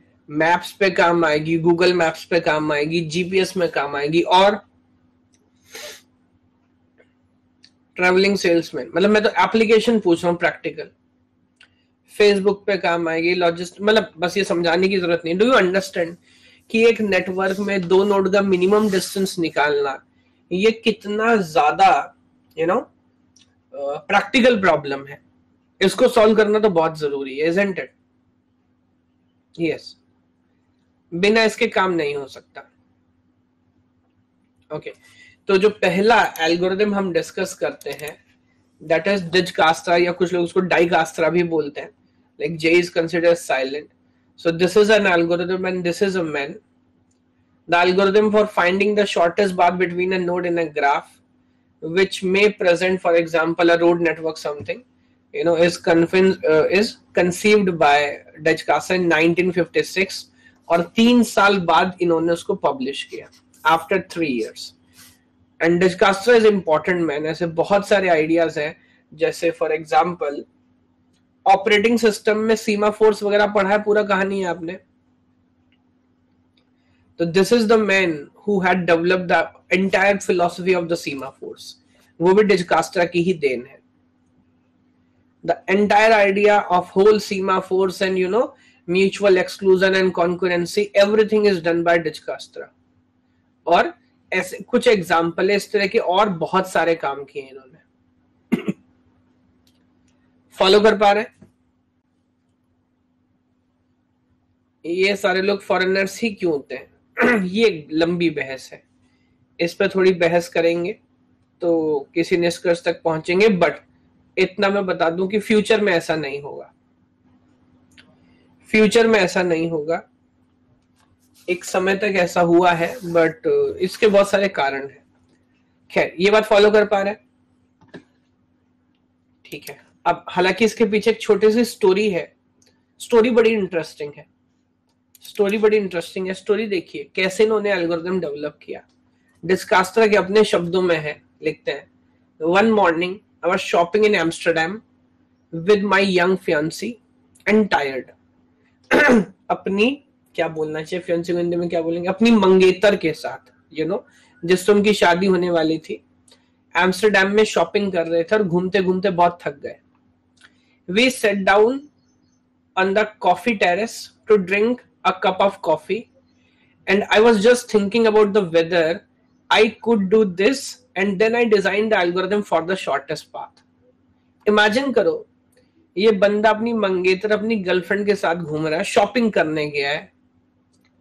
और कॉफ़ी पीने के लिए किसी कैफ़े में बैठा और कह रहा है कि मैं अपने दिमाग में इस प्रॉब्लम के बारे में सोच रहा हूँ। और मज़े की बात है कि कह रहा है कि ये प्रॉब्लम उसने जब डिज़ाइन किया तो उसके पास पेन और पेपर था कि नहीं था? नहीं था। ये पूरा एल्गोरिदम वो अपने दिमाग में सोच रहा था just thinking about it yes और it was a twenty minutes invention तीन साल बाद मैंने उसे पब्लिश किया और अभी भी आप इसको बोल सकते हैं। बोलता है कि ये एल्गोरिदम इतना सिंपल इसीलिए था। The reason that this is so nice and that I designed it without pencil and paper. कह रहा, मेरे पास लिखने के लिए होता, मैं कुछ कॉम्प्लेक्स लिख दिया होता। इजेंट इट बट मेरी प्रॉब्लम क्या थी? मेरे पास लिखने के लिए कुछ नहीं था तो वो सिंपल ही रहा बहुत। इसी वजह से शायद वो पॉपुलर भी हुआ। है ना? अब आप समझो, अब मैं थोड़ा सा आपको और एनालाइज कराना चाह रहा हूँ। आप समझो इस भाई की प्रॉब्लम इसमें क्रेडिट जो है, इसने अपने नाम से पब्लिश कर दिया, जो भी इनकी मंगेतर का नाम रहा होगा, उसका भी नाम साथ में होना चाहिए था। उसने इसको कितना फ्रस्ट्रेट कर दिया होगा शॉपिंग में। साइंटिस्ट आदमी है सुबह सुबह ले गई, पकड़ के कि चलो शॉपिंग करने का है। वो इसको फ्रस्ट्रेट कर रही है। ये पीछे बैग उठाए घूम रहा है, वो शॉपिंग कर रही है शॉपिंग कर रही है शॉपिंग कर रही है। अब वो 20 मिनट लगे खुद मान रहा है कितना लगा 20 मिनट। 20 मिनट तक भाई का रिज देखो, वो कहानी सुना रही होगी, ये हाँ हाँ कर रहा होगा। और दिमाग में चल रहा है डिजकास्त्रा डिजकास्त्रा ये डिस्टेंस लिया पेरेंट लिया। दिमाग में कुछ और चल रहा है। रिस्क क्यों है? क्यों भाई खतरों का खिलाड़ी है? अगर 20 मिनट में एक बार भी उसको शक हुआ होता कि ये मेरी बात सुन भी रहा है कि नहीं तो वो क्वेश्चन पूछ ली होती।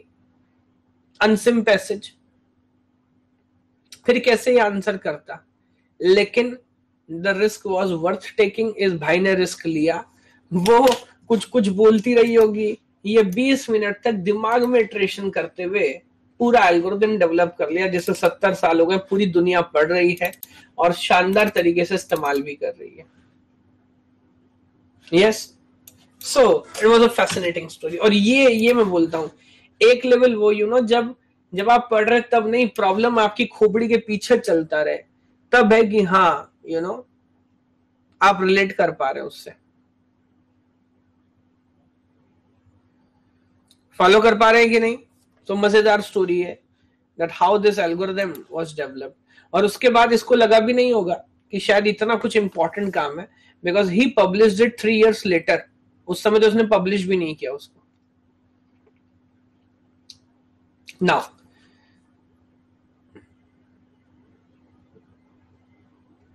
तो अब इसका मतलब क्या सीखे? इस कहानी से क्या सीखे? आप लोगों को क्या चाहिए पहले? ज़्यादातर लोगों को। That is it you need a fancy you need a girlfriend और you need a boyfriend so that वो आपको इतना फ्रस्ट्रेट कर दे कि आपका पढ़ाई में मन लगे। The same happen with Dijkstra उसने इसको इतना फ्रस्ट्रेट कर दिया कि इसका पढ़ाई में मन लगने लगा, कहता, मैं तो पढ़ूँगा। वो मना करती थी शॉपिंग चलो। ना इट गिव्स हिम मोटिवेशन कि शॉपिंग नहीं जाना है तो चल पढ़ी ले बैठ के।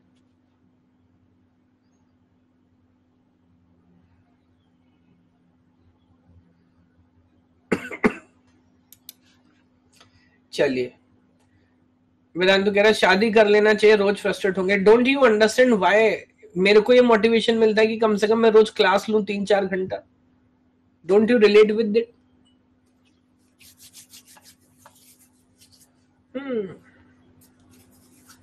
very good very good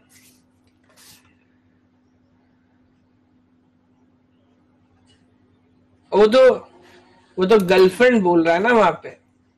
ना यू सी अब आप सोच रहे हो, सही तो गर्लफ्रेंड की बात कर रहा है। बेटा गर्लफ्रेंड का जब स्क्वायर करते हो तो वाइफ बनती है। इसकी पावर डबल है इससे। नहीं समझ रहे आप?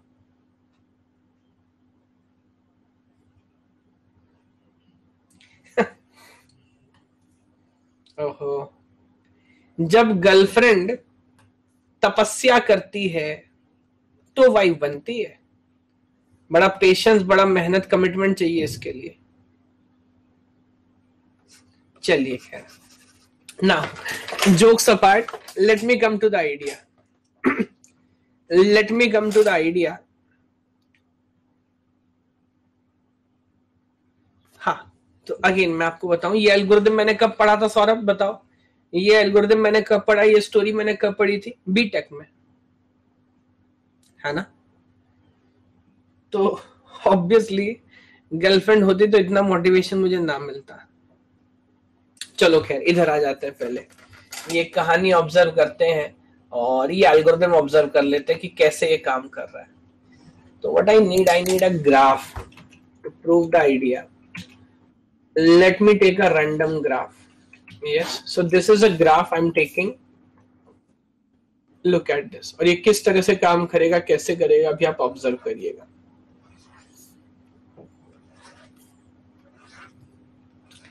ये एक ग्राफ में ले रहा हूँ जो ऑलरेडी एक साल किसी प्रीवियस ईयर क्वेश्चन में पूछा है। और जैसा मैं बोल रहा हूँ कि यहाँ पर जो हम ग्राफ लेंगे, वो डायरेक्टेड होगा कि अनडायरेक्टेड होगा? That will be a undirected graph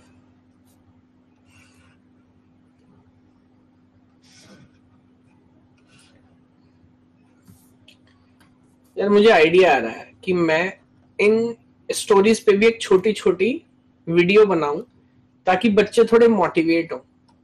कुछ इंटरेस्टिंग फैक्ट्स बताऊँ अलग अलग साइंटिस्ट के बारे में अलग अलग एल्गोरिदम्स के बारे में। It gives a sense of motivation interesting facts yes चलो let me think over it okay now this is idea let me name them this is p, this is q, this is r, this is u this is t and that is s. जरा देखिए, पूरा idea follow कर पा रहे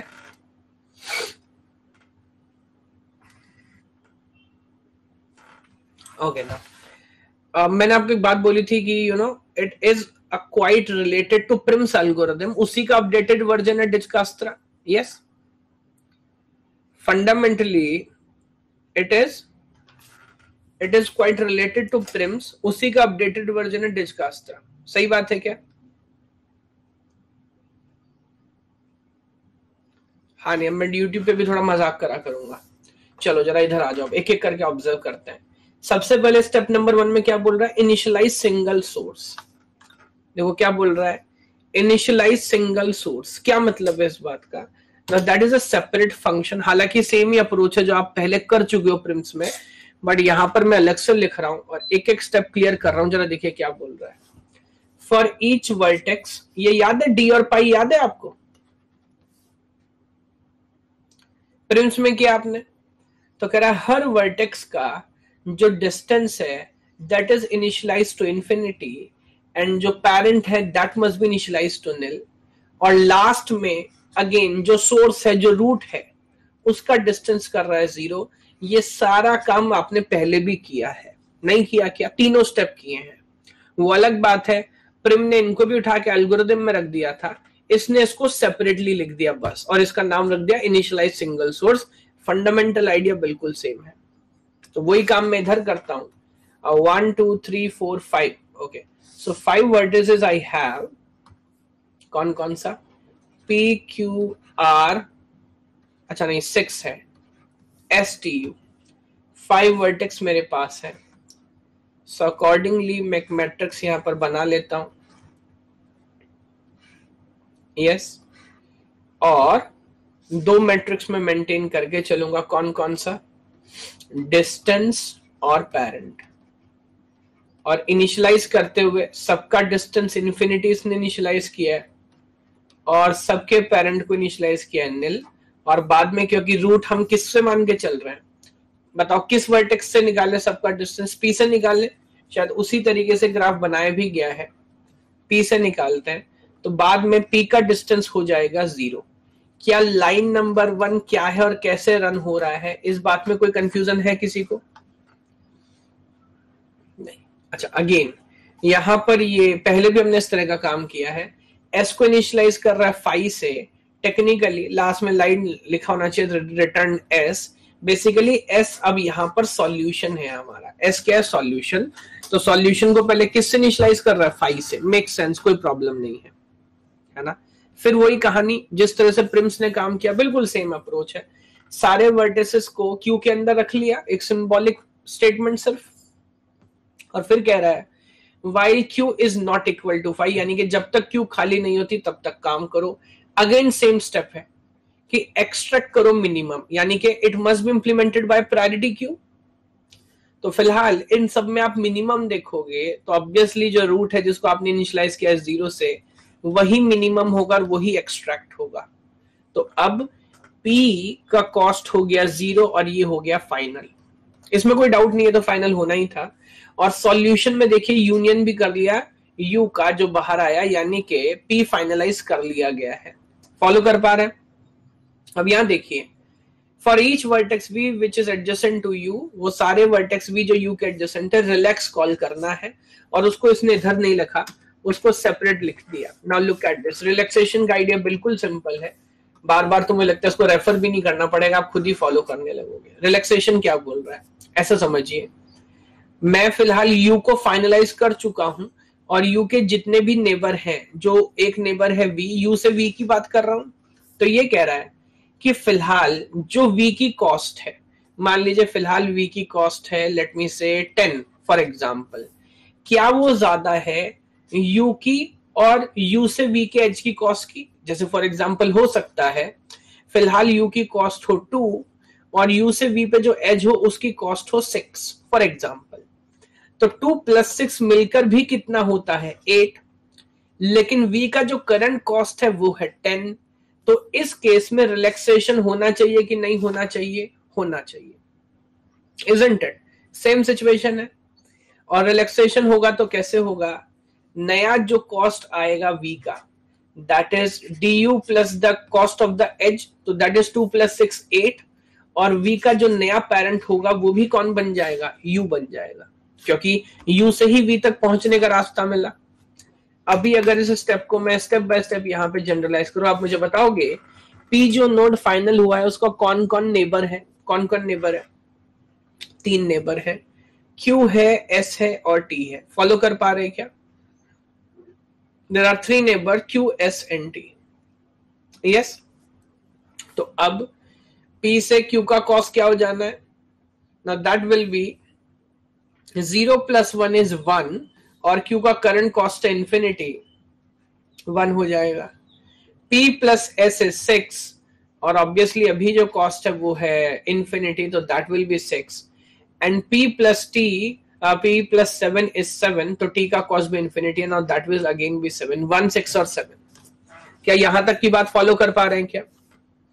तो बिल्कुल हमने same relaxation किया है और मैं याद भी रख लेता हूँ, क्योंकि सबको पी ने रिलैक्स किया है। तो पेरेंट में पी का नाम रख लेता हूँ। दोनों काम करना है डिस्टेंस भी अपडेट करना है और पेरेंट भी अपडेट करना है है ना? ना after doing that again in the next iteration इन सब में कौन सा वैल्यू सबसे छोटा है? इन द नेक्स्ट इटरेशन इन सब में कौन सा वैल्यू सबसे छोटा है? Now Q is again the minimum अगला नोड जो फाइनलाइज होगा, वो होगा क्यू और हम समझ गए कि क्यू वन में फाइनल हो गया है।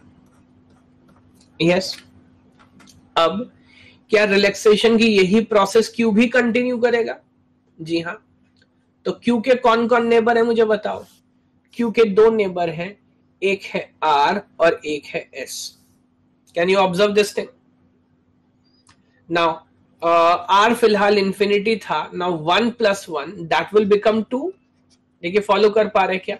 और पेरेंट हो जाएगा क्यू यस और मेरे ख्याल से एस भी रिलैक्स होगा, क्योंकि one plus four is five और एस का करंट कॉस्ट है सिक्स तो क्यू बोल रहा है? डोंट वरी मेरे पास एक सस्ता रास्ता है है ना? तो that one plus four now it will become five और कहाँ से आप पहुँच रहे वाया क्यू पहुँच रहे बात समझ आ रही है? ना again in the next iteration which is the minimum value now? R is the minimum value. So next node जो फाइनलाइज होगा, वो होगा r. In the cost two two cost में आर फाइनल हो गया एंड अगेन आर अटेम्प्ट करेगा relaxation का look at this beauty I think S further relax हो गया now because this two plus two becomes four but S की current cost है five isn't it तो S भी रिलैक्स हुआ है और यू भी रिलैक्स हुआ है।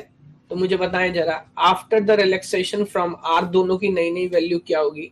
एस बोलेगा टू प्लस टू फोर में रीचेबल है वाया आर और यू बोलेगा टू प्लस वन थ्री में रीचेबल है via R again in the last iteration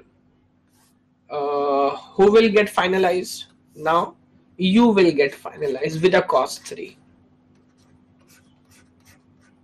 हालाँकि, क्या यू फर्दर किसी को रिलैक्स करेगा? यू इज़ अ सिंक उसमें सिर्फ़ इनकमिंग एजेस ही है। तो यू फर्दर किसी को रिलैक्स नहीं करेगा। Yes yes? अब यहाँ पर आपके पास है एस और टी आपके पास है एस और टी तो अब आप ऑब्ज़र्व करोगे तो फ़िलहाल आई थिंक सबसे छोटा वैल्यू एस का फोर ही है। कोई ऑप्शन नहीं है। Now this will get finalised yes अच्छा। नाउ जब एस रिलैक्सेशन अटेम्प्ट करेगा, ना four plus three is seven but T का ऑलरेडी कॉस्ट है सेवन तो क्या मैं रिलैक्स करूँगा या मैं सिर्फ़ स्ट्रिक्ट रिलैक्सेशन करता हूँ? मुझे याद करके बताओ। यहाँ पे वेरी गुड इधर रिलैक्स करने की ज़रूरत नहीं है। We do only strict relaxation तो ये टी इसी कॉस्ट में फाइनल होगा। Yes So now this 4 plus 3 will become 7 and that will be all. So Dijkastra is complete और अभी आप कोई भी देखोगे, जैसे फॉर एग्ज़ाम्पल यू का मिनिमल कॉस्ट क्या निकला? पी से। ये मैं बाकी से नहीं निकाल रहा हूँ पी से निकाल रहा हूँ। स्टार्टिंग फ्रॉम पी यू का कॉस्ट निकला थ्री अच्छा कैसे देखोगे? लुक एट दिस पी से आप जा रहे हो यू जरा तो पूछो यू का पेरेंट कौन है? यू का पेरेंट है आर तो यू तक आप पहुँचे आर से। बैक ट्रैक में कर रहा हूँ। आर का पेरेंट कौन है? क्यू तो यानी कि आर पे आप पहुँचे क्यू से। और क्यू का पेरेंट कौन है? पी तो डायरेक्टली पी से मैंने कनेक्ट कर दिया। तो अगेन क्या ये मैट्रिक्स जो रिजल्टेंट डी और फाइव की मैट्रिक्स है, क्या ये आपको सिर्फ़ आंसर बता रही है? या वो आंसर कैसे आया ये भी बता रही है पाथ भी बता रही है? यस तो it is not only telling you the optimal cost but also telling what is the exact path which was followed which lead to this result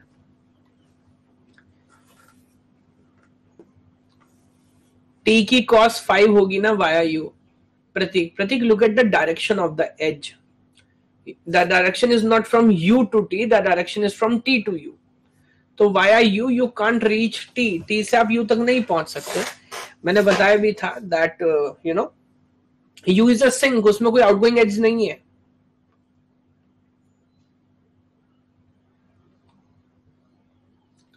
follow कर पा रहे हैं क्या हाँ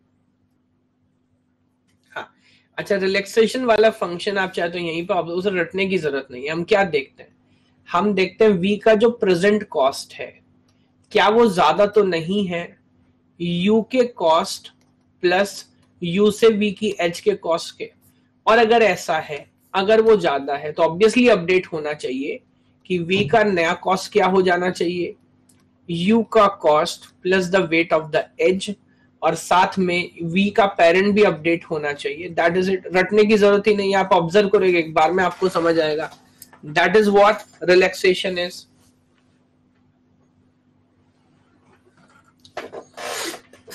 मुझे बताएँ, जरा पूरा बात फॉलो कर पा रहे हैं क्या? यही तो रिलैक्सेशन है और क्या है?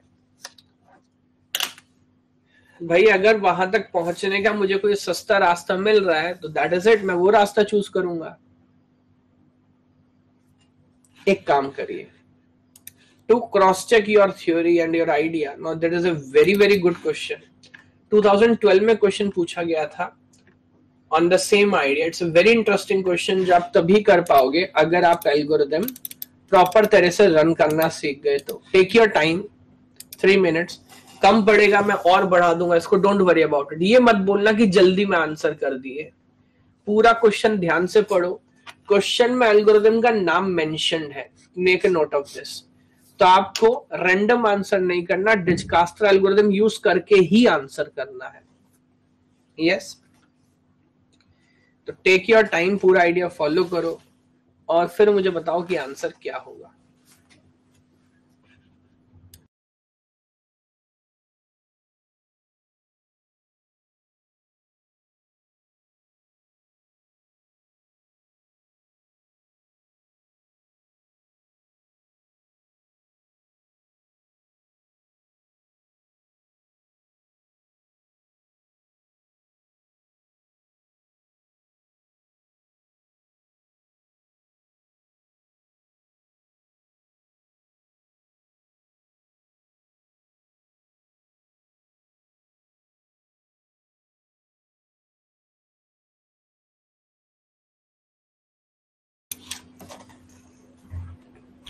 स्टेप बाय स्टेप एल्गो के हिसाब से सॉल्व करेंगे तो कोई प्रॉब्लम नहीं होगा।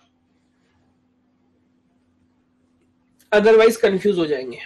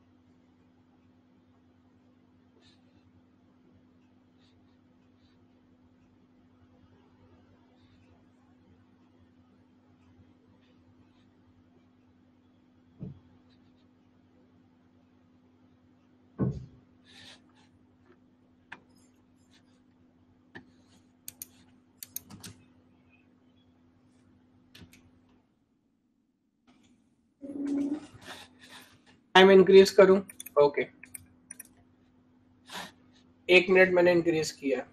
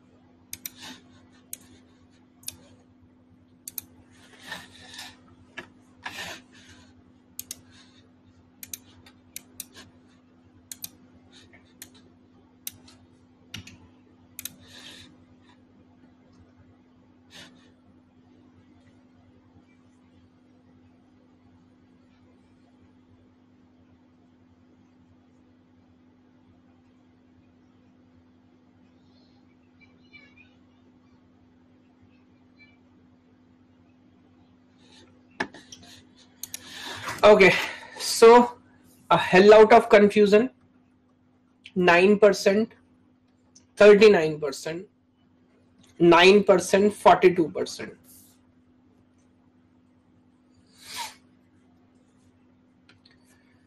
Sir एक पैटर्न फॉलो हो रहा है कि half of the Unacademy educators give motivational video on his YouTube channel तो सर आप सबको अन अकेडमी वालों ने कहा है क्या कि आप स्वयं इच्छा बनाते हो ओनली फॉर नॉलेज गेट अपनी इच्छा से, अपनी इच्छा से। Nobody tells anyone anything the point is मैं आपको बताऊँ ईमानदारी से यूट्यूब पे क्या चलता है? नहीं पता आपको? Yes that is the harsh reality time pass चलता है प्रैंक चलते हैं कॉमेडी चलती है मोटिवेशन इंस्पिरेशन एक घंटे का सॉलिड लेक्चर आप बनाओ, जिसमें मैट्रिक्स एंड मल्टीप्लीकेशन पूरा सॉल्व कर दो। Step number one to step number last yes चलेगा कि नहीं चलेगा? नहीं चलेगा भाई। किसके पास टाइम है? किसको पढ़ना है? आप लोग क्या मान रहे हो? नहीं चलेगा। वहीं पे मैं आपको टाइटल बताऊँ। मैं उस लेवल तक गिर नहीं सकता। मेरा एरिया अलग है। नहीं तो मैं अब तक दस मिलियन पे होता भाई। पता मैं टाइटल क्या रखता? कुछ भी अजीब रखो। टाइटल रखो। रशिया की लड़कियों की दस अजीब बातें। आय हाय, मज़ा ही आ गया थंबनेल पढ़ के। आज रात को वीडियो डालिए, कल सुबह तक एक लाख व्यू बताओ अच्छा आइडिया है कि नहीं? क्यों चॉकलेट से नहाती हैं करीना कपूर? भाई वाह, मज़ेदार आइडिया बताओ कैसा आइडिया है? आपको यूट्यूबर बनना, आप मुझसे आइडिया लो ना, मैं बताता हूँ. प्रॉब्लम ये, मैं अपने आप को उस लेवल तक गिरा नहीं सकता. तो पता मुझे सब है, क्या चलता है, क्या लोग देखते हैं बैठ के. बताओ, मैं गलत बोल रहा हूँ क्या?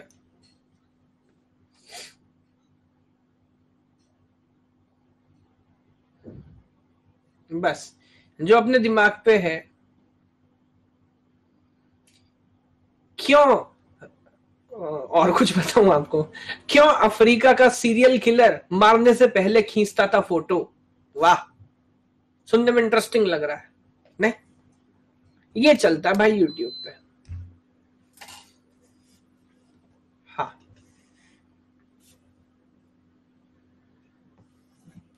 अफ्रीका के युगांडा में पाई गई 215 साल की महिला।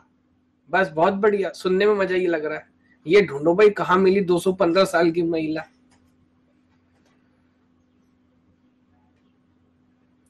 फीजी में एक कुत्ते ने बोली, उर्दू। बस, देखो कहा कौन कुत्ता उर्दू बोल रहा है, ऐसा। रैंडमली कुछ भी चलाओ, चलेगा। बस पढ़ाना मत। फिर बोलो how to solve travelling salesman problem in optimal time complexity अब बताओ कौन देखेगा? How to solve travelling salesman in optimal time no no but is going to see this ये चलता है।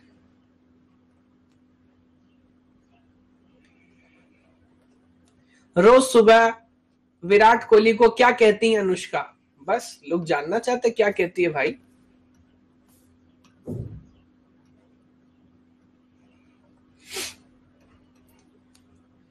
और आप मुझे छोड़िए न्यूज़ चैनल देखिए।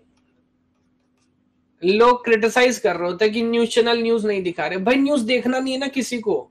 दूरदर्शन दिखा तो रहा था, सत्तर साल से न्यूज़ नहीं दिखा रहा था। Nobody nobody sees Doordarshan.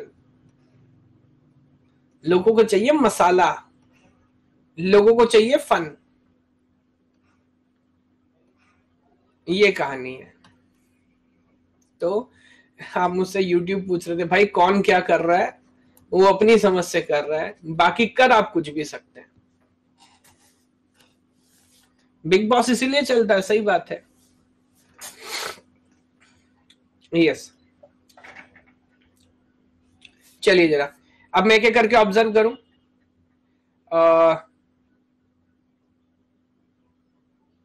How to crack GATE in चलेगा, कुछ भी रैंडम चलेगा। चलो लेट मी स्टार्ट इसने सोर्स से टी का डिस्टेंस पूछा है ना। Step number one source final होगा। यस अब आप मुझे बताओ, जब सोर्स फाइनल होगा तो किस किस को रिलैक्स करेगा? ए को डी को और बी को। एम आई करेक्ट ए को करेगा फोर में फ्रॉम सोर्स डी को करेगा सेवन में फ्रॉम सोर्स और बी को करेगा थ्री में फ्रॉम सोर्स क्या ये बात सही है? अब हम सिस्टमैटिक तरीके से चलेंगे। क्योंकि बहुत सारे लोगों ने पता क्या किया होगा?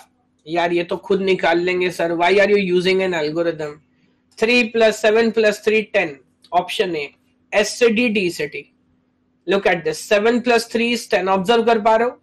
ऑप्शन बी एस से बी बी से डी डी से T three plus four seven plus three this is also ten option C S से ए ए से सी सी से डी डी से टी एस से ए ए से C C से डी डी से T 4 plus 1 is uh, 5 plus 3 is 8 and 8 plus 3 is 11 now that could have been directly eliminated. यार जब 10 वाला है तो 11 में भला कोई क्यों आंसर करेगा? तो जिन लोगों ने 9 आंसर किया है यही वो लोग हैं जो YouTube पे बाकी लोगों के व्यूज़ बढ़ाते हैं। यस अच्छा रही बात है एस से ए ए से सी सी से ई और ई से T now that is 4 plus 1 plus 1 plus 4 so again 8 plus 2 this is also 10 तो एग्जामिनर बड़ा स्मार्ट है। ए बी और डी तीनों ऑप्शन का आंसर 10 ही है। तो पॉइंट इज़ आपको ये जानना है कि एल्गोरिदम किसको रिटर्न कर रहा है इजेंट इट आप डायरेक्ट सॉल्व नहीं कर सकते। Okay now let me proceed with the algorithm A B और डी में सबसे छोटा फ़िलहाल मुझे नज़र आ रहा है बी तो आई फाइनलाइज बी बी से फर्दर क्या क्या रिलैक्स होगा? बी से आउटगोइंग एक ही पाथ है D that is three plus four is seven but seven का कॉस्ट ऑलरेडी मेरे पास है. तो मैं इक्वल वैल्यू पर रिलैक्स करता हूँ या सिर्फ़ स्ट्रिक्ट रिलैक्सेशन करता हूँ? याद करके बताओ. मैं सिर्फ़ स्ट्रिक्ट रिलैक्सेशन करता हूँ. तो मैं डी को रिलैक्स नहीं करूँगा. Uh, तो दैट विल बी ऑल और फिर अगली ट्रेशन में जाएँगे तो अब फाइनल होगा ए जब ए फाइनल होगा तो ए सिर्फ़ सी को रिलैक्स करेगा. Four plus one that will be five from A अगली ट्रेशन में अब कौन फाइनल होगा? सी या डी अगली ट्रेशन में सी फाइनल होगा और सी ई को रिलैक्स करेगा. Five plus one is six via C और डी पे अभी भी कोई फ़र्क नहीं आएगा इज़ इट अब अगली इटरेशन में पहले कौन फाइनल होगा? डी या ई डी बेचारा वेट कर रहा है। शायद पहले ई e फाइनल हो जाएगा। और ई e जल्दी जल्दी कई लोगों को पहले रिलैक्स कर देगा। जैसे ई e जी को रिलैक्स करेगा which is six plus two is eight और शायद टी को भी रिलैक्स कर देगा because six plus four is ten observe कर पा रहे ई ने इन दोनों को रिलैक्स किया डी को तो कोई रास्ता है नहीं दैट विल बी ऑल अब जब आप अगले स्टेज में जाएँगे और फाइनली डी रिलैक्स होगा, अब डी किस किस को रिलैक्स करेगा? एफ़ को करेगा. Five that is seven plus five is twelve और पहुँच रहा है डी से. But seven plus three is ten अब मैं इस वाले पाथ को कंसिडर करूँगा कि नहीं? नहीं क्योंकि टेन का एक ऑलरेडी रास्ता मेरे पास है तो कोई मतलब बनता नहीं है। यस फाइनली अगला पास होगा जी क्या जी किसी को रिलैक्स करेगा? आ, बाकी सब तो पास हो ही चुके हैं। एट प्लस थ्री इलेवन नहीं टी का ऑलरेडी टेन मेरे पास है तो मेरे को इलेवन लेने की ज़रूरत नहीं है। अल्टीमेटली मैं टी को फाइनलाइज करूँगा और इसके आगे मुझे जानने की ज़रूरत नहीं है क्योंकि मुझे तो टी तक का ही रास्ता देखना था है ना? तो टी का रास्ता तो टेन में आया, खैर वो हमें पता भी था बट रास्ता पूछना इससे। टी तक ये कैसे पहुँचा? बैक ट्रैक करना है। टी तक पहुँचा ई e से ई e तक पहुँचा सी से सी तक पहुँचा ए से, और ए तक पहुँचा एस से। Now look at this S A C E T so D is the correct answer ये क्वेश्चन मैंने इसलिए आपको कराया, जानबूझ के to tell you sometimes algorithms are very important isn't it अगर आप एल्गोरिदम स्पेसिफिकली यूज़ ना करो और यहाँ तुक्केबाजी करो, जैसे शायद इन लोगों ने किया that is why thirty nine percent of the student it's it's a good number ended up on option B और मैं बोल रहा हूँ, अगर आप ध्यान से ऑब्ज़र्व करो तो फिर आपको समझ आए कि नहीं, अगर आप कहीं भी गोल किया मामला तो आंसर पे नहीं पहुंचोगे तो some time the question are very much specific follow कर पा रहे हैं। अच्छा एक और बात। इसमें भी एक और एल्गोरिथम हमारे पास है दैट इज़ बेलमन फोर्ड और चाहो तो आप उसको थोड़ा सा होमवर्क उस पर करके आ सकते हो। बिकॉज़ यहाँ पे एक सिचुएशन है वो क्या? डिस्कास्टर में हम जितना भी वेट लेते हैं एजेस का क्या वो सिर्फ़ वो नेगेटिव भी हो सकता है या सिर्फ़ पॉजिटिव होता है? Dijkastra, only positive weight we consider. But there's another class of algorithm that is called Bellman-Ford. Now, that is not a single man. Bellman and Ford, two scientists, jointly published this algorithm. And the beauty of algorithm, uh, Bellman-Ford is it can work on both positive as well as negative weights. Yes. इनकी story क्या है इन इन दोनों की आपस में कोई story हो सकती नहीं हो तो अच्छा है isn't it? तो we'll see नेक्स्ट क्लास के अंदर बाकी तब तक आप होमवर्क करिए क्वेश्चंस यहाँ पर हैं इंटरेस्टिंग आइडियाज़ हैं तो उस पर काम करेंगे। Okay thank you so much